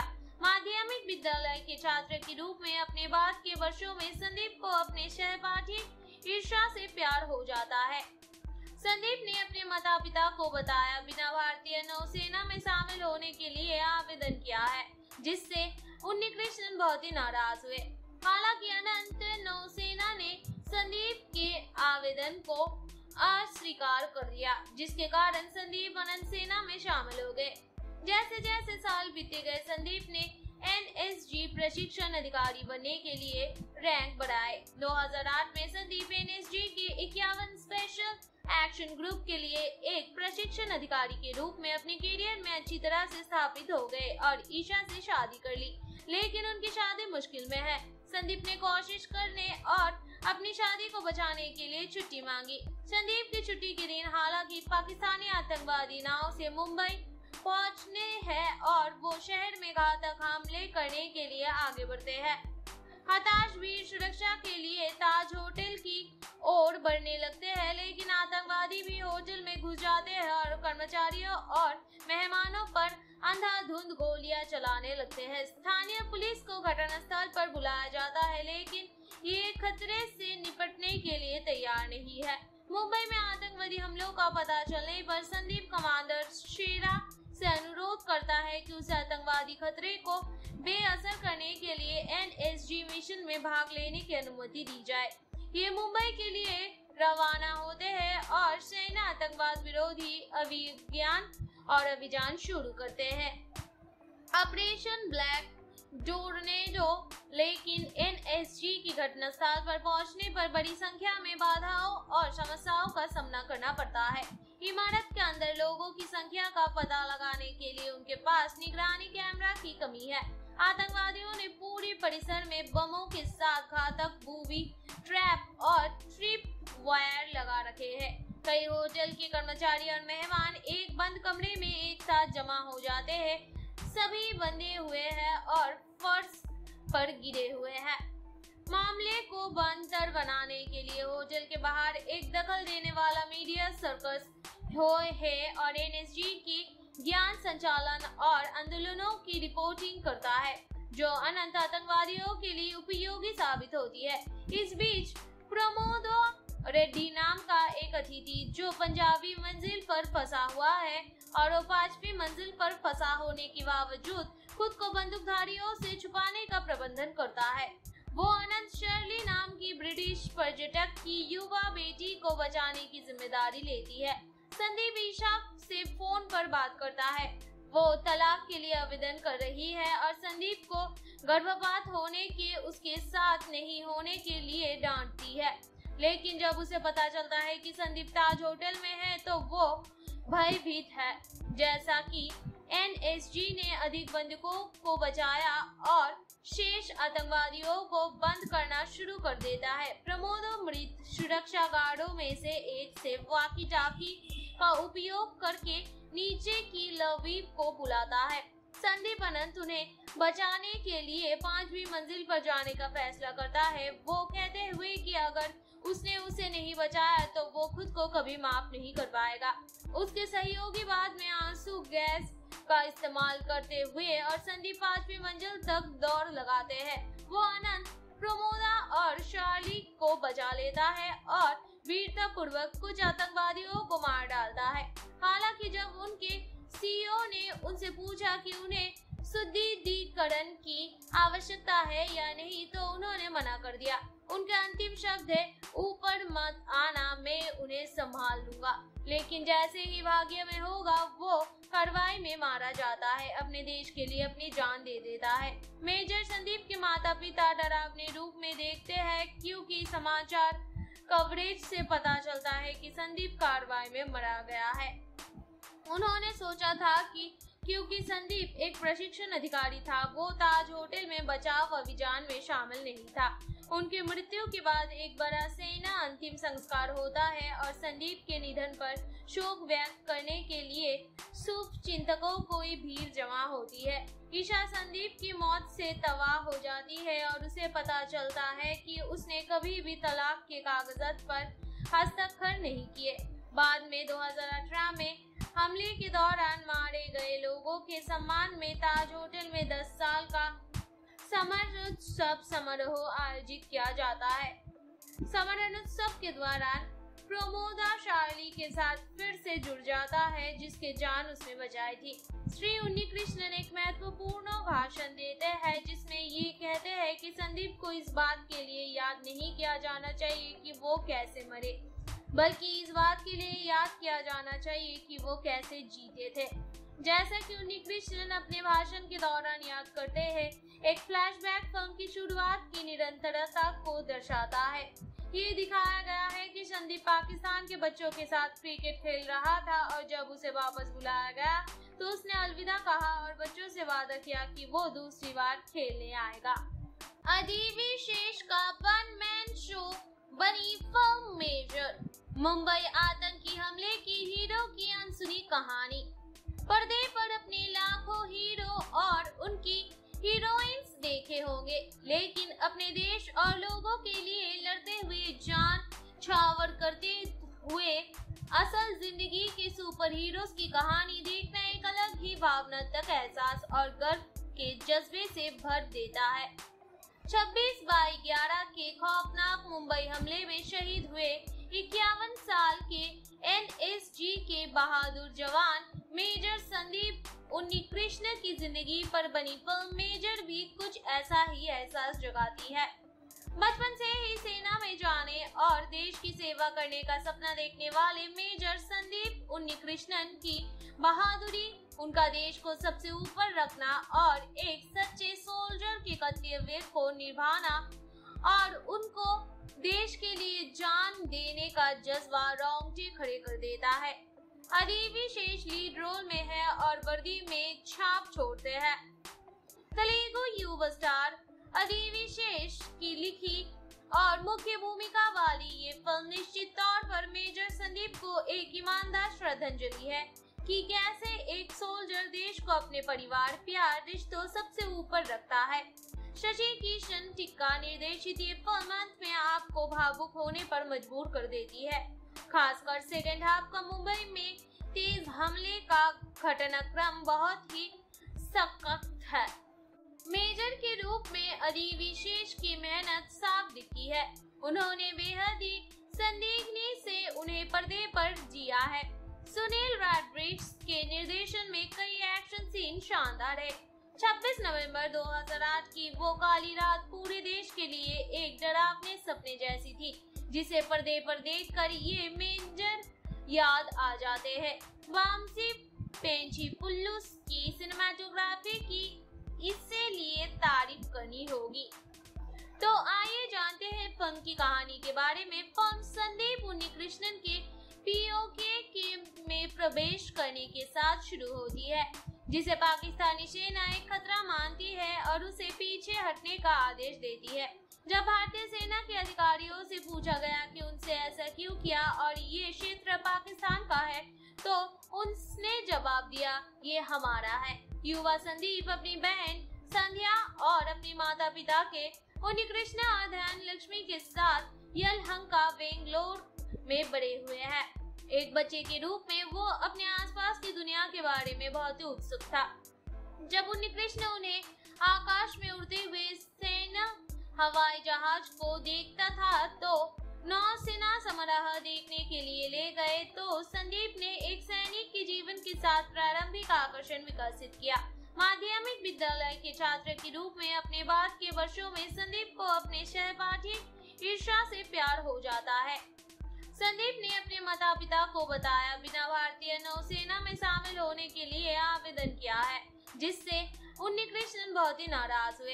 हालाँकि अनंत नौसेना ने संदीप के आवेदन को अस्वीकार कर दिया, जिसके कारण संदीप अनंत सेना में शामिल हो गए। जैसे जैसे साल बीते गए, संदीप ने एनएसजी प्रशिक्षण अधिकारी बनने के लिए रैंक बढ़ाए। 2008 में संदीप एनएसजी के इक्यावन स्पेशल एक्शन ग्रुप के लिए एक प्रशिक्षण अधिकारी के रूप में अपने करियर में अच्छी तरह से स्थापित हो गए और ईशा से शादी कर ली।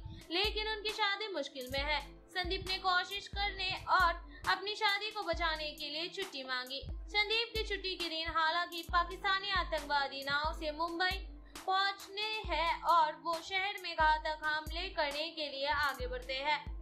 हताश वीर सुरक्षा के लिए ताज होटल की ओर बढ़ने लगते हैं, लेकिन आतंकवादी भी होटल में घुस जाते हैं और कर्मचारियों और मेहमानों पर अंधाधुंध गोलियाँ चलाने लगते हैं। स्थानीय पुलिस को घटनास्थल पर बुलाया जाता है, लेकिन ये खतरे से निपटने के लिए तैयार नहीं है। मुंबई में आतंकवादी हमलों का पता चलने पर संदीप कमांडर शेरा से अनुरोध करता है कि उसे आतंकवादी खतरे को बेअसर करने के लिए एनएसजी मिशन में भाग लेने की अनुमति दी जाए। ये मुंबई के लिए रवाना होते हैं और सेना आतंकवाद विरोधी अभिज्ञान और अभियान शुरू करते हैं। ऑपरेशन ब्लैक टोर्नेडो लेकिन एनएसजी की घटनास्थल पर पहुँचने पर बड़ी संख्या में बाधाओं और समस्याओं का सामना करना पड़ता है। इमारत के अंदर लोगों की संख्या का पता लगाने के लिए उनके पास निगरानी कैमरा की कमी है। आतंकवादियों ने पूरे परिसर में बमों के साथ घातक बूबी, ट्रैप और ट्रिप वायर लगा रखे हैं। कई होटल के कर्मचारी और मेहमान एक बंद कमरे में एक साथ जमा हो जाते हैं। सभी बंधे हुए हैं और फर्श पर गिरे हुए हैं। मामले को बंतर बनाने के लिए होटल के बाहर एक दखल देने वाला मीडिया सर्कस हो है और एनएसजी की ज्ञान संचालन और आंदोलनों की रिपोर्टिंग करता है, जो अनंत आतंकवादियों के लिए उपयोगी साबित होती है। इस बीच, प्रमोदो रेड्डी नाम का एक अतिथि, जो पंजाबी मंजिल पर फंसा हुआ है और वो पांचवी मंजिल पर फंसा होने के बावजूद खुद को बंदूकधारियों से छुपाने का प्रबंधन करता है। वो अनंत शर्ली नाम की ब्रिटिश पर्यटक की युवा बेटी को बचाने की ज़िम्मेदारी लेती है। संदीप ईशा से फ़ोन पर बात करता है। वो तलाक के लिए आवेदन कर रही है और संदीप को गर्भपात होने के, उसके साथ नहीं होने के लिए डांटती है। लेकिन जब उसे पता चलता है कि संदीप ताज होटल में है तो वो भयभीत है। जैसा कि एनएसजी ने अधिक बंदूकों को बचाया और शेष आतंकवादियों को बंद करना शुरू कर देता है। प्रमोद मृत सुरक्षा गार्डो में से एक से वाकी टाकी का उपयोग करके नीचे की लवीप को बुलाता है। संदीप अनंत उन्हें बचाने के लिए पांचवी मंजिल पर जाने का फैसला करता है। वो कहते हुए कि अगर उसने उसे नहीं बचाया तो वो खुद को कभी माफ़ नहीं कर पाएगा। उसके सहयोगी बाद में आँसू, गैस का इस्तेमाल करते हुए और संदीप पांचवी मंजिल तक दौड़ लगाते हैं। वो आनंद प्रमोदा और शार्ली को बचा लेता है और वीरता पूर्वक कुछ आतंकवादियों को मार डालता है। हालाँकि जब उनके सीईओ ने उनसे पूछा कि उन्हें सुदृढ़ीकरण की आवश्यकता है या नहीं तो उन्होंने मना कर दिया। उनके अंतिम शब्द है, ऊपर मत आना, मैं उन्हें संभाल लूँगा। लेकिन जैसे ही भाग्य में होगा, वो कार्रवाई में मारा जाता है, अपने देश के लिए अपनी जान दे देता है। मेजर संदीप के माता पिता डरावने रूप में देखते हैं, क्योंकि समाचार कवरेज से पता चलता है कि संदीप कार्रवाई में मरा गया है। उन्होंने सोचा था कि क्योंकि संदीप एक प्रशिक्षण अधिकारी था। वो ताज होटल में बचाव अभियान में शामिल नहीं था। उनकी मृत्यु के बाद एक बड़ा सेना अंतिम संस्कार होता है और संदीप के निधन पर शोक व्यक्त करने के लिए शुभ चिंतकों की भीड़ जमा होती है। ईशा संदीप की मौत से तबाह हो जाती है और उसे पता चलता है कि उसने कभी भी तलाक के कागजात पर हस्ताक्षर नहीं किए। बाद में 2018 में हमले के दौरान मारे गए लोगों के सम्मान में ताज होटल में 10 साल का समरोत्सव समारोह आयोजित किया जाता है। समरोत्सव के दौरान प्रमोदा शार्ली के साथ फिर से जुड़ जाता है, जिसके जान उसने बचाई थी। श्री उन्नी कृष्णन एक महत्वपूर्ण भाषण देते हैं, जिसमें ये कहते हैं कि संदीप को इस बात के लिए याद नहीं किया जाना चाहिए कि वो कैसे मरे। बल्कि इस बात के लिए याद किया जाना चाहिए कि वो कैसे जीते थे। जैसा कि उन्नी कृष्णन अपने भाषण के दौरान याद करते हैं, एक फ्लैशबैक फ़िल्म की शुरुआत की निरंतरता को दर्शाता है। ये दिखाया गया है कि संदीप पाकिस्तान के बच्चों के साथ क्रिकेट खेल रहा था और जब उसे वापस बुलाया गया तो उसने अलविदा कहा और बच्चों से वादा किया कि वो दूसरी बार खेलने आएगा। अदीबी शेष का वन मैन शो बनी फ़िल्म मेजर मुंबई आतंकी हमले की हीरो की अनसुनी कहानी। पर्दे पर अपने लाखों हीरो और उनकी हीरोइंस देखे होंगे। लेकिन अपने देश और लोगों के लिए लड़ते हुए जान छावर करते हुए असल ज़िंदगी के सुपर हीरोज की कहानी देखना एक अलग ही भावनात्मक एहसास और गर्व के जज्बे से भर देता है। 26 बाई 11 के खौफनाक मुंबई हमले में शहीद हुए इक्यावन साल के एनएसजी के बहादुर जवान मेजर संदीप उन्नी कृष्ण की ज़िंदगी पर बनी फ़िल्म मेजर भी कुछ ऐसा ही एहसास जगाती है। बचपन से ही सेना में जाने और देश की सेवा करने का सपना देखने वाले मेजर संदीप उन्नी कृष्णन की बहादुरी, उनका देश को सबसे ऊपर रखना और एक सच्चे सोल्जर के कर्तव्य को निभाना और उनको देश के लिए जान देने का जज्बा रोंगटे खड़े कर देता है। अदीबी शेष लीड रोल में है और वर्दी में छाप छोड़ते हैं। तेलुगु युवा स्टार अदीबी शेष की लिखी और मुख्य भूमिका वाली ये फ़िल्म निश्चित तौर पर मेजर संदीप को एक ईमानदार श्रद्धांजलि है कि कैसे एक सोल्जर देश को अपने परिवार, प्यार, रिश्तों सबसे ऊपर रखता है। शशि किशन टिक्का निर्देशित ये फ़िल्म अंत में आपको भावुक होने पर मजबूर कर देती है। खासकर सेकेंड हाफ़ का मुंबई में तेज हमले का घटनाक्रम बहुत ही सख्त है। मेजर के रूप में अली विशेष की मेहनत साफ़ दिखती है। उन्होंने बेहद ही संदिग्धि से उन्हें पर्दे पर जिया है। सुनील रैडब्रिक्स के निर्देशन में कई एक्शन सीन शानदार है। 26 नवंबर 2008 की वो काली रात पूरे देश के लिए एक डरावने सपने जैसी थी, जिसे पर्दे पर देखकर ये मेजर याद आ जाते हैं। वामसी, पेंची पुल्लुस की सिनेमाटोग्राफी की इससे लिए तारीफ़ करनी होगी। तो आइए जानते हैं फ़िल्म की कहानी के बारे में फ़िल्म संदीप उन्नी कृष्णन के पीओके के में प्रवेश करने के साथ शुरू होती है। जिसे पाकिस्तानी सेना एक खतरा मानती है और उसे पीछे हटने का आदेश देती है। जब भारतीय सेना के अधिकारियों से पूछा गया कि उनसे ऐसा क्यों किया और ये क्षेत्र पाकिस्तान का है तो उसने जवाब दिया, ये हमारा है। युवा संदीप, अपनी बहन संध्या और अपने माता पिता के उन्हीं कृष्णा ध्यान लक्ष्मी के साथ यलहंका, बेंगलोर में बड़े हुए हैं। एक बच्चे के रूप में वो अपने आसपास की दुनिया के बारे में बहुत ही उत्सुक था। जब उन्नी कृष्ण उन्हें आकाश में उड़ते हुए सेना, हवाई जहाज़ को देखता था तो नौसेना समारोह देखने के लिए ले गए तो संदीप ने एक सैनिक के जीवन के साथ प्रारंभिक आकर्षण विकसित किया। माध्यमिक विद्यालय के छात्र के रूप में अपने बाद के वर्षों में संदीप को अपने सहपाठी ईर्षा से प्यार हो जाता है। संदीप ने अपने माता पिता को बताया, बिना भारतीय नौसेना में शामिल होने के लिए आवेदन किया है, जिससे उन्नी कृष्णन बहुत ही नाराज़ हुए। हालाँकि अनंत नौसेना ने संदीप के आवेदन को अस्वीकार कर दिया, जिसके कारण संदीप अनंत सेना में शामिल हो गए।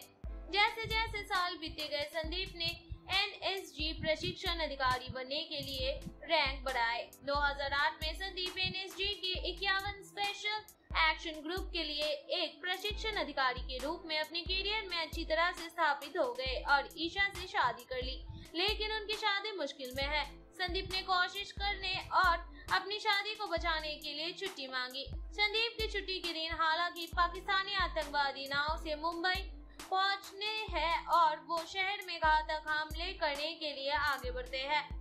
हताश वीर सुरक्षा के लिए ताज होटल की ओर बढ़ने लगते हैं, लेकिन आतंकवादी भी होटल में घुस जाते हैं और कर्मचारियों और मेहमानों पर अंधाधुंध गोलियाँ चलाने लगते हैं। स्थानीय पुलिस को घटनास्थल पर बुलाया जाता है, लेकिन ये खतरे से निपटने के लिए तैयार नहीं है। मुंबई में आतंकवादी हमलों का पता चलने पर संदीप कमांडर शेरा से अनुरोध करता है कि उसे आतंकवादी खतरे को बेअसर करने के लिए एनएसजी मिशन में भाग लेने की अनुमति दी जाए।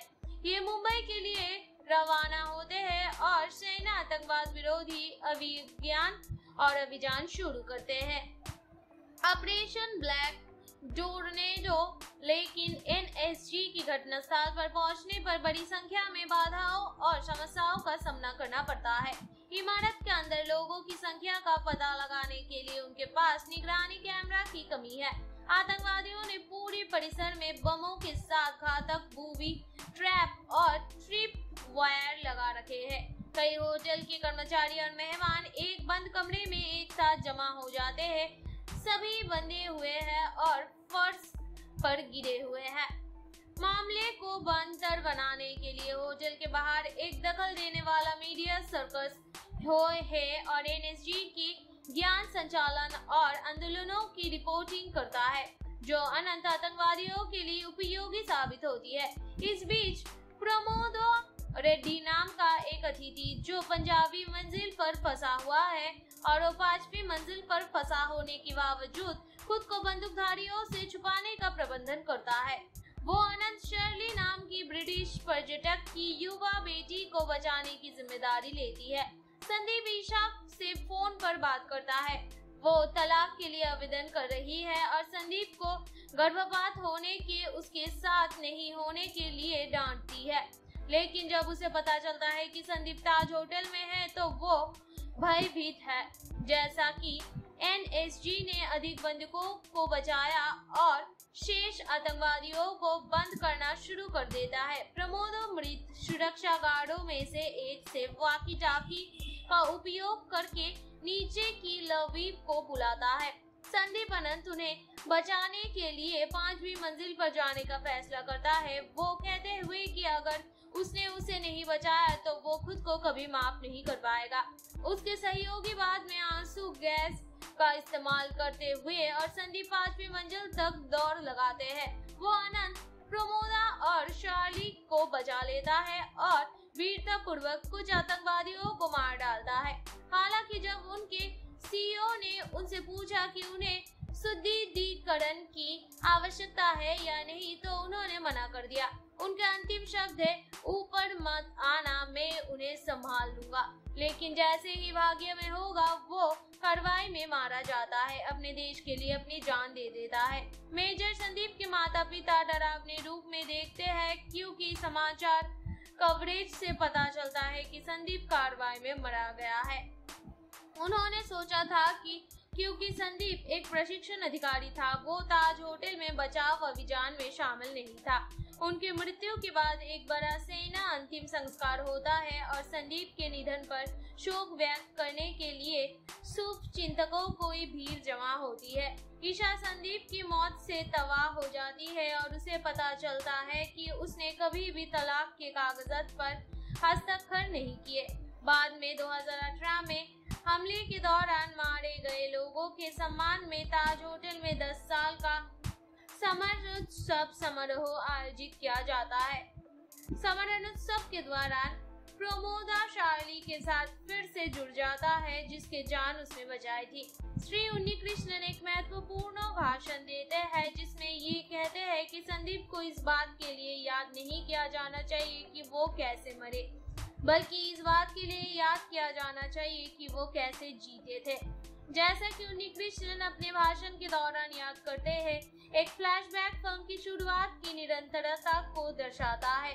ये दिखाया गया है कि संदीप पाकिस्तान के बच्चों के साथ क्रिकेट खेल रहा था और जब उसे वापस बुलाया गया तो उसने अलविदा कहा और बच्चों से वादा किया कि वो दूसरी बार खेलने आएगा। अदीबी शेष का वन मैन शो बनी फ़िल्म मेजर मुंबई आतंकी हमले की हीरो की अनसुनी कहानी।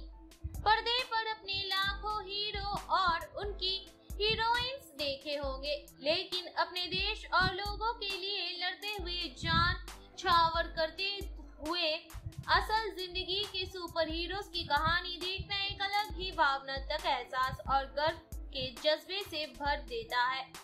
26 बाई 11 के खौफनाक मुंबई हमले में शहीद हुए इक्यावन साल के एनएसजी के बहादुर जवान मेजर संदीप उन्नी कृष्ण की ज़िंदगी पर बनी फ़िल्म मेजर भी कुछ ऐसा ही एहसास जगाती है।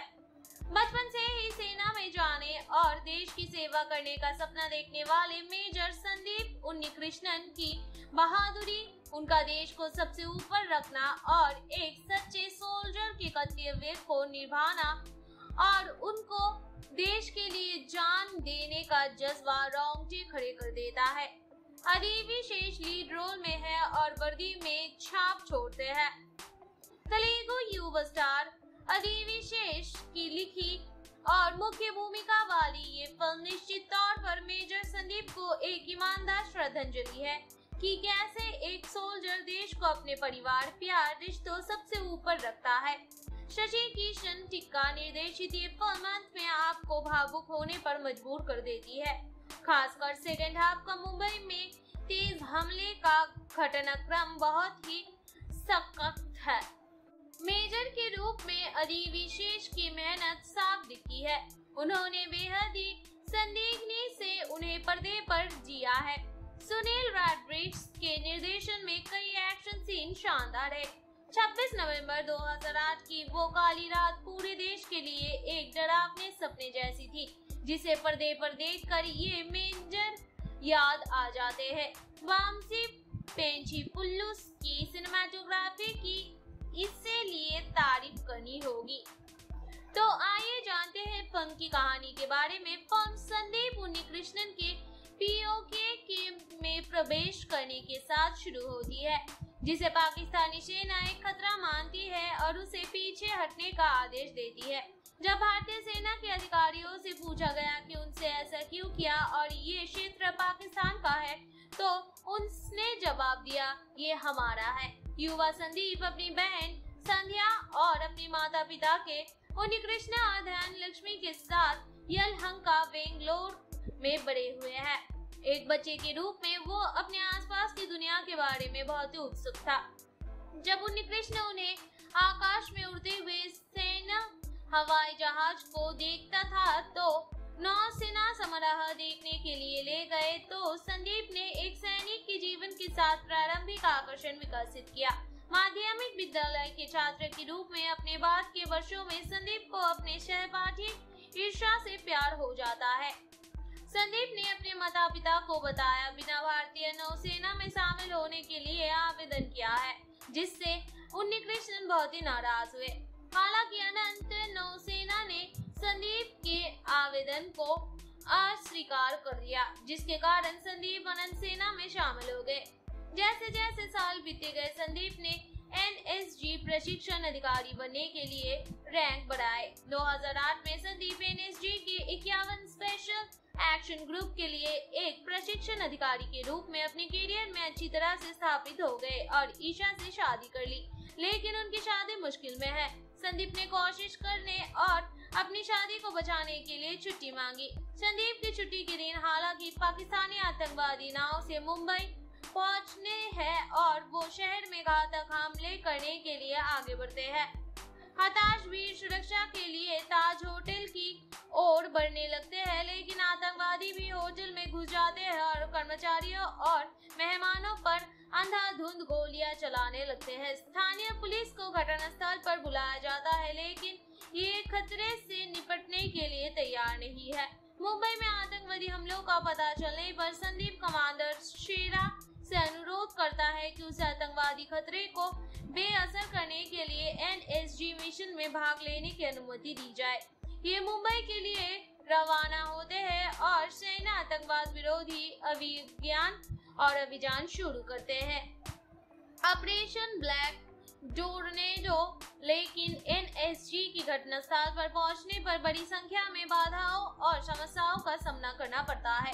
इमारत के अंदर लोगों की संख्या का पता लगाने के लिए उनके पास निगरानी कैमरा की कमी है। आतंकवादियों ने पूरी परिसर में बमों के साथ घातक बूबी, ट्रैप और ट्रिप वायर लगा रखे हैं। कई होटल के कर्मचारी और मेहमान एक बंद कमरे में एक साथ जमा हो जाते हैं। सभी बंधे हुए हैं और फर्श पर गिरे हुए हैं।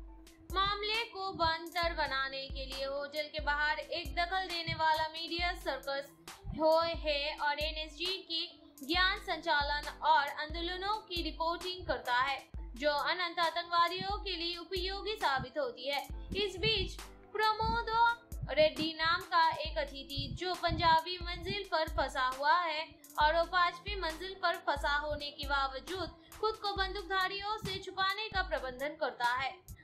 अनंत शर्ली नाम की ब्रिटिश पर्यटक की युवा बेटी को बचाने की ज़िम्मेदारी लेती है। संदीप ईशा से फ़ोन पर बात करता है। वो तलाक के लिए आवेदन कर रही है और संदीप को गर्भपात होने के, उसके साथ नहीं होने के लिए डांटती है। लेकिन जब उसे पता चलता है कि संदीप ताज होटल में है तो वो भयभीत है। जैसा कि एनएसजी ने अधिक बंदूकों को बचाया और शेष आतंकवादियों को बंद करना शुरू कर देता है। प्रमोद मृत सुरक्षा गार्डों में से एक से वाकी टाकी का उपयोग करके नीचे की लवीप को बुलाता है। संदीप अनंत उन्हें बचाने के लिए पांचवी मंजिल पर जाने का फैसला करता है। वो कहते हुए कि अगर उसने उसे नहीं बचाया तो वो खुद को कभी माफ़ नहीं कर पाएगा। उसके सहयोगी बाद में आँसू, गैस का इस्तेमाल करते हुए और संदीप पांचवी मंजिल तक दौड़ लगाते हैं। वो अनंत प्रमोदा और शार्ली को बचा लेता है और वीरता पूर्वक कुछ आतंकवादियों को मार डालता है। हालाँकि जब उनके सीईओ ने उनसे पूछा कि उन्हें सुदृढ़ीकरण की आवश्यकता है या नहीं तो उन्होंने मना कर दिया। उनके अंतिम शब्द है, ऊपर मत आना, मैं उन्हें संभाल लूँगा। लेकिन जैसे ही भाग्य में होगा, वो कार्रवाई में मारा जाता है, अपने देश के लिए अपनी जान दे देता है। मेजर संदीप के माता पिता डरावने रूप में देखते हैं, क्योंकि समाचार कवरेज से पता चलता है कि संदीप कार्रवाई में मरा गया है। उन्होंने सोचा था कि, क्योंकि संदीप एक प्रशिक्षण अधिकारी था, वो ताज होटल में बचाव अभियान में शामिल नहीं था।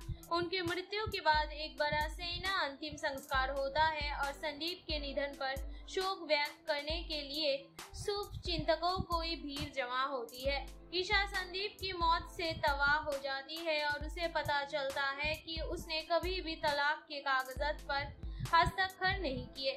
बाद में 2018 में हमले के दौरान मारे गए लोगों के सम्मान में ताज होटल में 10 साल का समरोत्सव समारोह आयोजित किया जाता है। समरोत्सव के दौरान प्रमोदा शार्ली के साथ फिर से जुड़ जाता है, जिसके जान उसने बचाई थी। श्री उन्नी कृष्णन एक महत्वपूर्ण भाषण देते हैं, जिसमें ये कहते हैं कि संदीप को इस बात के लिए याद नहीं किया जाना चाहिए कि वो कैसे मरे, बल्कि इस बात के लिए याद किया जाना चाहिए कि वो कैसे जीते थे। जैसा कि उन्नी कृष्णन अपने भाषण के दौरान याद करते हैं एक फ्लैशबैक फ़िल्म की शुरुआत की निरंतरता को दर्शाता है। ये दिखाया गया है कि संदीप पाकिस्तान के बच्चों के साथ क्रिकेट खेल रहा था और जब उसे वापस बुलाया गया तो उसने अलविदा कहा और बच्चों से वादा किया कि वो दूसरी बार खेलने आएगा। अदीबी शेष का वन मैन शो बनी फ़िल्म मेजर मुंबई आतंकी हमले की हीरो की अनसुनी कहानी।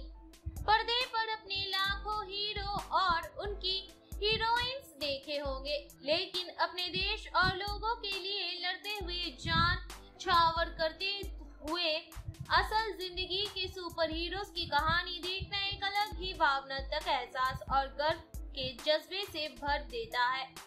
26 बाई 11 के खौफनाक मुंबई हमले में शहीद हुए इक्यावन साल के एनएसजी के बहादुर जवान मेजर संदीप उन्नी कृष्ण की ज़िंदगी पर बनी फ़िल्म मेजर भी कुछ ऐसा ही एहसास जगाती है। बचपन से ही सेना में जाने और देश की सेवा करने का सपना देखने वाले मेजर संदीप उन्नी कृष्णन की बहादुरी, उनका देश को सबसे ऊपर रखना और एक सच्चे सोल्जर के कर्तव्य को निभाना और उनको देश के लिए जान देने का जज्बा रोंगटे खड़े कर देता है। अली शेष लीड रोल में है और वर्दी में छाप छोड़ते हैं। तेलुगु युवा स्टार अली शेष की लिखी और मुख्य भूमिका वाली ये फ़िल्म निश्चित तौर पर मेजर संदीप को एक ईमानदार श्रद्धांजलि है कि कैसे एक सोल्जर देश को अपने परिवार, प्यार, रिश्तों सबसे ऊपर रखता है। शशि किशन टिक्का निर्देशित ये फ़िल्म अंत में आपको भावुक होने पर मजबूर कर देती है। खासकर सेकेंड हाफ़ का मुंबई में तेज हमले का घटनाक्रम बहुत ही सख्त है। मेजर के रूप में अली विशेष की मेहनत साफ़ दिखी है। उन्होंने बेहद ही संदिग्धि से उन्हें पर्दे पर जिया है। सुनील रैड्रिक्स के निर्देशन में कई एक्शन सीन शानदार है। 26 नवंबर 2008 की वो काली रात पूरे देश के लिए एक डरावने सपने जैसी थी। जिसे पर्दे पर देख कर ये मेजर याद आ जाते हैं। वामसी पेंची पुल्लूस की सिनेमाटोग्राफी की इससे लिए तारीफ़ करनी होगी। तो आइए जानते हैं फ़िल्म की कहानी के बारे में। फ़िल्म संदीप उन्नी कृष्णन के पीओके के में प्रवेश करने के साथ शुरू होती है, जिसे पाकिस्तानी सेना एक खतरा मानती है और उसे पीछे हटने का आदेश देती है। जब भारतीय सेना के अधिकारियों से पूछा गया कि उनसे ऐसा क्यों किया और ये क्षेत्र पाकिस्तान का है तो उसने जवाब दिया, ये हमारा है। युवा संदीप, अपनी बहन संध्या और अपने माता पिता के उन्हीं कृष्णा अध्ययन लक्ष्मी के साथ यलहंका, बेंगलोर में बड़े हुए हैं। एक बच्चे के रूप में वो अपने आसपास की दुनिया के बारे में बहुत ही उत्सुक था। जब उन्हीं कृष्ण उन्हें आकाश में उड़ते हुए सेना हवाई जहाज़ को देखता था तो नौसेना समारोह देखने के लिए ले गए तो संदीप ने एक सैनिक के जीवन के साथ प्रारंभिक आकर्षण विकसित किया। माध्यमिक विद्यालय के छात्र के रूप में अपने बाद के वर्षों में संदीप को अपने सहपाठी ईर्षा से प्यार हो जाता है। संदीप ने अपने माता पिता को बताया, बिना भारतीय नौसेना में शामिल होने के लिए आवेदन किया है, जिससे उन्नी कृष्णन बहुत ही नाराज़ हुए। हालाँकि अनंत नौसेना ने संदीप के आवेदन को अस्वीकार कर दिया, जिसके कारण संदीप अनंत सेना में शामिल हो गए। जैसे जैसे साल बीते गए, संदीप ने एनएसजी प्रशिक्षण अधिकारी बनने के लिए रैंक बढ़ाए। 2008 में संदीप एनएसजी के इक्यावन स्पेशल एक्शन ग्रुप के लिए एक प्रशिक्षण अधिकारी के रूप में अपने करियर में अच्छी तरह से स्थापित हो गए और ईशा से शादी कर ली, लेकिन उनकी शादी मुश्किल में है। संदीप ने कोशिश करने और अपनी शादी को बचाने के लिए छुट्टी मांगी। संदीप की छुट्टी के दिन हालाँकि पाकिस्तानी आतंकवादी नाव से मुंबई पहुँचने हैं और वो शहर में घातक हमले करने के लिए आगे बढ़ते हैं। हताश वीर सुरक्षा के लिए ताज होटल की ओर बढ़ने लगते हैं, लेकिन आतंकवादी भी होटल में घुस जाते हैं और कर्मचारियों और मेहमानों पर अंधाधुंध गोलियाँ चलाने लगते हैं। स्थानीय पुलिस को घटनास्थल पर बुलाया जाता है, लेकिन ये खतरे से निपटने के लिए तैयार नहीं है। मुंबई में आतंकवादी हमलों का पता चलने पर संदीप कमांडर शेरा से अनुरोध करता है कि उसे आतंकवादी खतरे को बेअसर करने के लिए एनएसजी मिशन में भाग लेने की अनुमति दी जाए। ये मुंबई के लिए रवाना होते हैं और सेना आतंकवाद विरोधी अभिज्ञान और अभियान शुरू करते हैं। ऑपरेशन ब्लैक टोर्नेडो, लेकिन एनएसजी की घटनास्थल पर पहुँचने पर बड़ी संख्या में बाधाओं और समस्याओं का सामना करना पड़ता है। इमारत के अंदर लोगों की संख्या का पता लगाने के लिए उनके पास निगरानी कैमरा की कमी है। आतंकवादियों ने पूरे परिसर में बमों के साथ घातक बूबी, ट्रैप और ट्रिप वायर लगा रखे हैं। कई होटल के कर्मचारी और मेहमान एक बंद कमरे में एक साथ जमा हो जाते हैं। सभी बंधे हुए हैं और फर्श पर गिरे हुए हैं। मामले को बंतर बनाने के लिए होटल के बाहर एक दखल देने वाला मीडिया सर्कस हो है और एनएसजी की ज्ञान संचालन और आंदोलनों की रिपोर्टिंग करता है, जो अनंत आतंकवादियों के लिए उपयोगी साबित होती है। इस बीच, प्रमोदो रेड्डी नाम का एक अतिथि, जो पंजाबी मंजिल पर फंसा हुआ है और पांचवी मंजिल पर फंसा होने के बावजूद खुद को बंदूकधारियों से छुपाने का प्रबंधन करता है। वो अनंत शर्ली नाम की ब्रिटिश पर्यटक की युवा बेटी को बचाने की ज़िम्मेदारी लेती है। संदीप ईशा से फ़ोन पर बात करता है। वो तलाक के लिए आवेदन कर रही है और संदीप को गर्भपात होने के, उसके साथ नहीं होने के लिए डांटती है। लेकिन जब उसे पता चलता है कि संदीप ताज होटल में है तो वो भयभीत है। जैसा कि एनएसजी ने अधिक बंधुकों को बचाया और शेष आतंकवादियों को बंद करना शुरू कर देता है। प्रमोद मृत सुरक्षा गार्डो में से एक से वाकी टाकी का उपयोग करके नीचे की लवीप को बुलाता है। संदीप अनंत उन्हें बचाने के लिए पांचवी मंजिल पर जाने का फैसला करता है। वो कहते हुए कि अगर उसने उसे नहीं बचाया तो वो खुद को कभी माफ़ नहीं कर पाएगा। उसके सहयोगी बाद में आँसू, गैस का इस्तेमाल करते हुए और संदीप पांचवी मंजिल तक दौड़ लगाते हैं। वो आनंद प्रमोदा और शार्ली को बचा लेता है और वीरता पूर्वक कुछ आतंकवादियों को मार डालता है। हालाँकि जब उनके सीईओ ने उनसे पूछा कि उन्हें सुदृढ़ीकरण की आवश्यकता है या नहीं तो उन्होंने मना कर दिया। उनके अंतिम शब्द है, ऊपर मत आना, मैं उन्हें संभाल लूँगा। लेकिन जैसे ही भाग्य में होगा, वो कार्रवाई में मारा जाता है, अपने देश के लिए अपनी जान दे देता है। मेजर संदीप के माता पिता डरावने रूप में देखते हैं, क्योंकि समाचार कवरेज से पता चलता है कि संदीप कार्रवाई में मरा गया है। उन्होंने सोचा था कि क्योंकि संदीप एक प्रशिक्षण अधिकारी था, वो ताज होटल में बचाव अभियान में शामिल नहीं था। उनकी मृत्यु के बाद एक बड़ा सेना अंतिम संस्कार होता है और संदीप के निधन पर शोक व्यक्त करने के लिए शुभ चिंतकों की भीड़ जमा होती है। ईशा संदीप की मौत से तबाह हो जाती है और उसे पता चलता है कि उसने कभी भी तलाक के कागजात पर हस्ताक्षर नहीं किए। बाद में 2018 में हमले के दौरान मारे गए लोगों के सम्मान में ताज होटल में 10 साल का समर उत्सव समारोह आयोजित किया जाता है। समरण उत्सव के दौरान प्रमोदा शार्ली के साथ फिर से जुड़ जाता है, जिसके जान उसने बचाई थी। श्री उन्नी कृष्णन एक महत्वपूर्ण भाषण देते हैं, जिसमें ये कहते हैं कि संदीप को इस बात के लिए याद नहीं किया जाना चाहिए कि वो कैसे मरे। बल्कि इस बात के लिए याद किया जाना चाहिए कि वो कैसे जीते थे। जैसा कि उन्हीं कृष्णन अपने भाषण के दौरान याद करते हैं, एक फ्लैशबैक फ़िल्म की शुरुआत की निरंतरता को दर्शाता है। ये दिखाया गया है कि संदीप पाकिस्तान के बच्चों के साथ क्रिकेट खेल रहा था और जब उसे वापस बुलाया गया तो उसने अलविदा कहा और बच्चों से वादा किया कि वो दूसरी बार खेलने आएगा। अदीबी शेष का वन मैन शो बनी फ़िल्म मेजर मुंबई आतंकी हमले की हीरो की अनसुनी कहानी।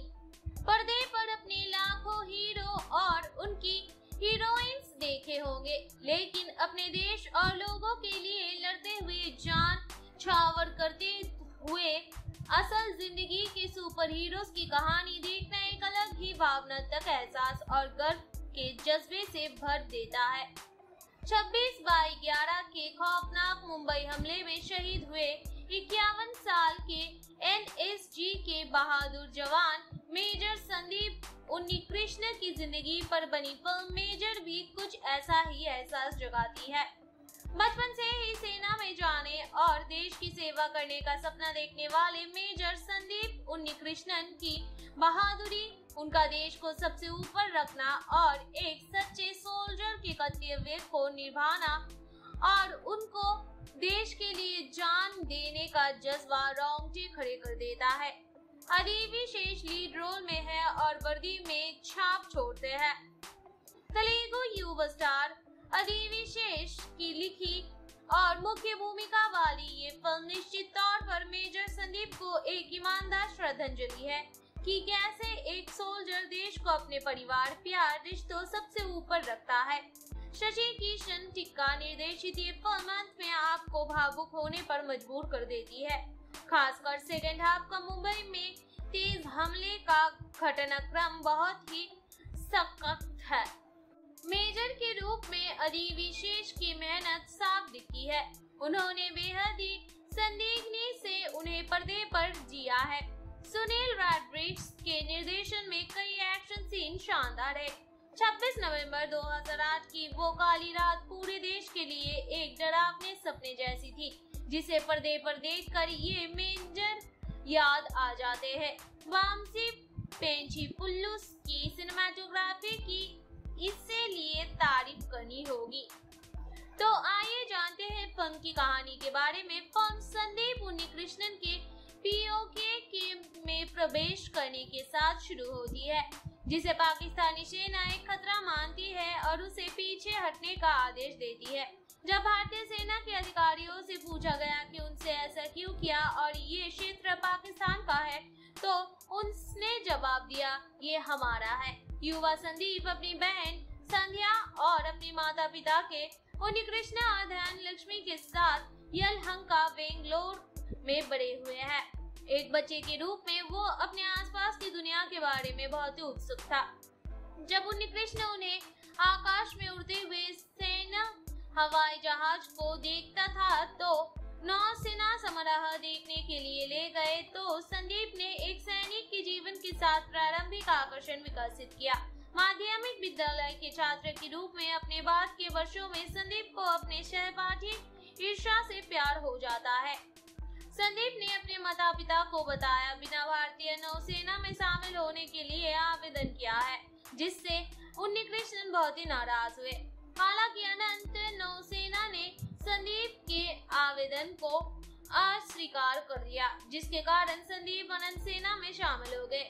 जैसे जैसे साल बीते गए, संदीप ने एनएसजी प्रशिक्षण अधिकारी बनने के लिए रैंक बढ़ाए। 2008 में संदीप एनएसजी के इक्यावन स्पेशल एक्शन ग्रुप के लिए एक प्रशिक्षण अधिकारी के रूप में अपने करियर में अच्छी तरह से स्थापित हो गए और ईशा से शादी कर ली। लेकिन उनकी शादी मुश्किल में है। संदीप ने कोशिश करने और अपनी शादी को बचाने के लिए छुट्टी मांगी। संदीप की छुट्टी के दिन हालाँकि पाकिस्तानी आतंकवादी नाव से मुंबई पहुँचने हैं और वो शहर में घातक हमले करने के लिए आगे बढ़ते हैं। हताश वीर सुरक्षा के लिए ताज होटल की ओर बढ़ने लगते हैं, लेकिन आतंकवादी भी होटल में घुस जाते हैं और कर्मचारियों और मेहमानों पर अंधाधुंध गोलियाँ चलाने लगते हैं। स्थानीय पुलिस को घटनास्थल पर बुलाया जाता है, लेकिन ये खतरे से निपटने के लिए तैयार नहीं है। मुंबई में आतंकवादी हमलों का पता चलने पर संदीप कमांडर शेरा से अनुरोध करता है कि उसे आतंकवादी खतरे को बेअसर करने के लिए एनएसजी मिशन में भाग लेने की अनुमति दी जाए। ये मुंबई के लिए रवाना होते हैं और सेना आतंकवाद विरोधी अभिज्ञान और अभियान शुरू करते हैं। ऑपरेशन ब्लैक टोर्नेडो लेकिन एनएसजी की घटनास्थल पर पहुँचने पर बड़ी संख्या में बाधाओं और समस्याओं का सामना करना पड़ता है। इमारत के अंदर लोगों की संख्या का पता लगाने के लिए उनके पास निगरानी कैमरा की कमी है। आतंकवादियों ने पूरे परिसर में बमों के साथ घातक बूबी, ट्रैप और ट्रिप वायर लगा रखे हैं। कई होटल के कर्मचारी और मेहमान एक बंद कमरे में एक साथ जमा हो जाते हैं। सभी बंधे हुए हैं और फर्श पर गिरे हुए हैं। मामले को बंतर बनाने के लिए होटल के बाहर एक दखल देने वाला मीडिया सर्कस हो है और एनएसजी की ज्ञान संचालन और आंदोलनों की रिपोर्टिंग करता है, जो अनंत आतंकवादियों के लिए उपयोगी साबित होती है। इस बीच, प्रमोद रेड्डी नाम का एक अतिथि, जो पंजाबी मंजिल पर फंसा हुआ है और वो पांचवी मंजिल पर फंसा होने के बावजूद खुद को बंदूकधारियों से छुपाने का प्रबंधन करता है। वो अनंत शर्ली नाम की ब्रिटिश पर्यटक की युवा बेटी को बचाने की ज़िम्मेदारी लेती है। संदीप ईशा से फ़ोन पर बात करता है। वो तलाक के लिए आवेदन कर रही है और संदीप को गर्भपात होने के, उसके साथ नहीं होने के लिए डांटती है। लेकिन जब उसे पता चलता है कि संदीप ताज होटल में है तो वो भयभीत है। जैसा कि एनएसजी ने अधिक बंदूकों को बचाया और शेष आतंकवादियों को बंद करना शुरू कर देता है। प्रमोद मृत सुरक्षा गार्डो में से एक से वाकी टाकी का उपयोग करके नीचे की लवीप को बुलाता है। संदीप अनंत उन्हें बचाने के लिए पांचवी मंजिल पर जाने का फैसला करता है। वो कहते हुए कि अगर उसने उसे नहीं बचाया तो वो खुद को कभी माफ़ नहीं कर पाएगा। उसके सहयोगी बाद में आँसू, गैस का इस्तेमाल करते हुए और संदीप पांचवी मंजिल तक दौड़ लगाते हैं। वो आनंद प्रमोदा और शार्ली को बचा लेता है और वीरता पूर्वक कुछ आतंकवादियों को मार डालता है। हालाँकि जब उनके सीईओ ने उनसे पूछा कि उन्हें सुदृढ़ीकरण की आवश्यकता है या नहीं तो उन्होंने मना कर दिया। उनके अंतिम शब्द है, ऊपर मत आना, मैं उन्हें संभाल लूँगा। लेकिन जैसे ही भाग्य में होगा, वो कार्रवाई में मारा जाता है, अपने देश के लिए अपनी जान दे देता है। मेजर संदीप के माता पिता डरावने रूप में देखते हैं, क्योंकि समाचार कवरेज से पता चलता है कि संदीप कार्रवाई में मरा गया है। उन्होंने सोचा था कि क्योंकि संदीप एक प्रशिक्षण अधिकारी था, वो ताज होटल में बचाव अभियान में शामिल नहीं था। उनकी मृत्यु के बाद एक बड़ा सेना अंतिम संस्कार होता है और संदीप के निधन पर शोक व्यक्त करने के लिए शुभ चिंतकों की भीड़ जमा होती है। ईशा संदीप की मौत से तबाह हो जाती है और उसे पता चलता है कि उसने कभी भी तलाक के कागजात पर हस्ताक्षर नहीं किए। बाद में 2018 में हमले के दौरान मारे गए लोगों के सम्मान में ताज होटल में 10 साल का समरोत्सव समारोह आयोजित किया जाता है। समरोत्सव के दौरान प्रमोदा शार्ली के साथ फिर से जुड़ जाता है, जिसके जान उसने बचाई थी। श्री उन्नी कृष्णन एक महत्वपूर्ण भाषण देते हैं, जिसमें ये कहते हैं कि संदीप को इस बात के लिए याद नहीं किया जाना चाहिए कि वो कैसे मरे। बल्कि इस बात के लिए याद किया जाना चाहिए कि वो कैसे जीते थे। जैसा कि उन्नी कृष्णन अपने भाषण के दौरान याद करते हैं, एक फ्लैशबैक फ़िल्म की शुरुआत की निरंतरता को दर्शाता है। ये दिखाया गया है कि संदीप पाकिस्तान के बच्चों के साथ क्रिकेट खेल रहा था और जब उसे वापस बुलाया गया तो उसने अलविदा कहा और बच्चों से वादा किया कि वो दूसरी बार खेलने आएगा। अदीबी शेष का वन मैन शो बनी फ़िल्म मेजर मुंबई आतंकी हमले की हीरो की अनसुनी कहानी। पर्दे पर अपने लाखों हीरो और उनकी हीरोइंस देखे होंगे। लेकिन अपने देश और लोगों के लिए लड़ते हुए जान छावर करते हुए असल ज़िंदगी के सुपर हीरोज की कहानी देखना एक अलग ही भावनात्मक एहसास और गर्व के जज्बे से भर देता है। 26 बाई 11 के खौफनाक मुंबई हमले में शहीद हुए इक्यावन साल के एनएसजी के बहादुर जवान मेजर संदीप उन्नी कृष्ण की ज़िंदगी पर बनी फ़िल्म मेजर भी कुछ ऐसा ही एहसास जगाती है। बचपन से ही सेना में जाने और देश की सेवा करने का सपना देखने वाले मेजर संदीप उन्नी कृष्णन की बहादुरी, उनका देश को सबसे ऊपर रखना और एक सच्चे सोल्जर के कर्तव्य को निभाना और उनको देश के लिए जान देने का जज्बा रोंगटे खड़े कर देता है। अदीबी शेष लीड रोल में है और वर्दी में छाप छोड़ते हैं। तेलुगु युवा स्टार अदीबी शेष की लिखी और मुख्य भूमिका वाली ये फ़िल्म निश्चित तौर पर मेजर संदीप को एक ईमानदार श्रद्धांजलि है कि कैसे एक सोल्जर देश को अपने परिवार, प्यार, रिश्तों सबसे ऊपर रखता है। शशि किशन टिक्का निर्देशित ये फ़िल्म अंत में आपको भावुक होने पर मजबूर कर देती है। खासकर सेकेंड हाफ़ का मुंबई में तेज हमले का घटनाक्रम बहुत ही सख्त है। मेजर के रूप में अली विशेष की मेहनत साफ़ दिखी है। उन्होंने बेहद ही संदिग्धि से उन्हें पर्दे पर जिया है। सुनील रॉड्रिक्स के निर्देशन में कई एक्शन सीन शानदार है। 26 नवंबर 2008 की वो काली रात पूरे देश के लिए एक डरावने सपने जैसी थी, जिसे पर्दे पर देखकर ये मेजर याद आ जाते हैं। वामसी पेंची पुल्लुस की सिनेमाटोग्राफी की इससे लिए तारीफ़ करनी होगी।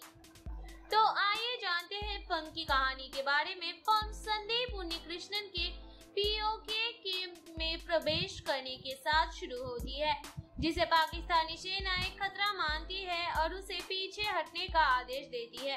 जब भारतीय सेना के अधिकारियों से पूछा गया कि उनसे ऐसा क्यों किया और ये क्षेत्र पाकिस्तान का है तो उसने जवाब दिया, ये हमारा है। युवा संदीप, अपनी बहन संध्या और अपने माता पिता के उन्हीं कृष्णा ध्यान लक्ष्मी के साथ यलहंका, बेंगलोर में बड़े हुए हैं। एक बच्चे के रूप में वो अपने आसपास की दुनिया के बारे में बहुत ही उत्सुक था।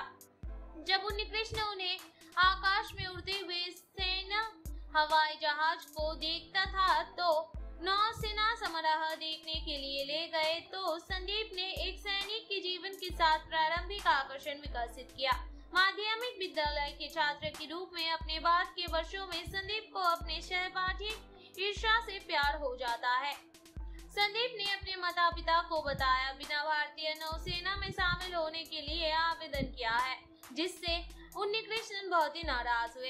हालाँकि अनंत नौसेना ने संदीप के आवेदन को अस्वीकार कर दिया, जिसके कारण संदीप अनंत सेना में शामिल हो गए। जैसे जैसे साल बीते गए, संदीप ने एनएसजी प्रशिक्षण अधिकारी बनने के लिए रैंक बढ़ाए। 2008 में संदीप एनएसजी के इक्यावन स्पेशल एक्शन ग्रुप के लिए एक प्रशिक्षण अधिकारी के रूप में अपने करियर में अच्छी तरह से स्थापित हो गए और ईशा से शादी कर ली।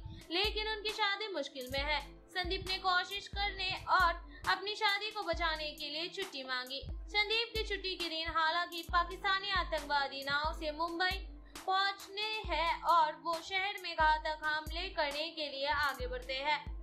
हताश वीर सुरक्षा के लिए ताज होटल की ओर बढ़ने लगते हैं, लेकिन आतंकवादी भी होटल में घुस जाते हैं और कर्मचारियों और मेहमानों पर अंधाधुंध गोलियाँ चलाने लगते हैं। स्थानीय पुलिस को घटनास्थल पर बुलाया जाता है, लेकिन ये खतरे से निपटने के लिए तैयार नहीं है। मुंबई में आतंकवादी हमलों का पता चलने पर संदीप कमांडर शेरा से अनुरोध करता है कि उसे आतंकवादी खतरे को बेअसर करने के में भाग लेने की अनुमति दी जाए। ये मुंबई के लिए रवाना होते हैं और सेना आतंकवाद विरोधी अभिज्ञान और अभियान शुरू करते हैं। ऑपरेशन ब्लैक टोर्नेडो लेकिन एनएसजी की घटनास्थल पर पहुँचने पर बड़ी संख्या में बाधाओं और समस्याओं का सामना करना पड़ता है। इमारत के अंदर लोगों की संख्या का पता लगाने के लिए उनके पास निगरानी कैमरा की कमी है। आतंकवादियों ने पूरी परिसर में बमों के साथ घातक बूबी ट्रैप और ट्रिप वायर लगा रखे हैं। कई होटल के कर्मचारी और मेहमान एक बंद कमरे में एक साथ जमा हो जाते हैं। सभी बंधे हुए हैं और फर्श पर गिरे हुए हैं। मामले को बंतर बनाने के लिए होटल के बाहर एक दखल देने वाला मीडिया सर्कस हो है और एनएसजी की ज्ञान संचालन और आंदोलनों की रिपोर्टिंग करता है, जो अनंत आतंकवादियों के लिए उपयोगी साबित होती है। इस बीच, प्रमोदो रेड्डी नाम का एक अतिथि, जो पंजाबी मंजिल पर फंसा हुआ है, और वो पांचवी मंजिल पर फंसा होने के बावजूद खुद को बंदूकधारियों से छुपाने का प्रबंधन करता है।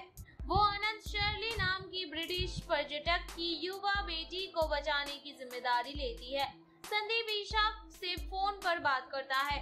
वो तलाक के लिए आवेदन कर रही है और संदीप को गर्भपात होने के, उसके साथ नहीं होने के लिए डांटती है। लेकिन जब उसे पता चलता है कि संदीप ताज होटल में है तो वो भयभीत है। जैसा कि एनएसजी ने अधिक बंदूकों को बचाया और शेष आतंकवादियों को बंद करना शुरू कर देता है। प्रमोद मृत सुरक्षा गार्डो में से एक से वाकी टाकी का उपयोग करके नीचे की लवीप को बुलाता है।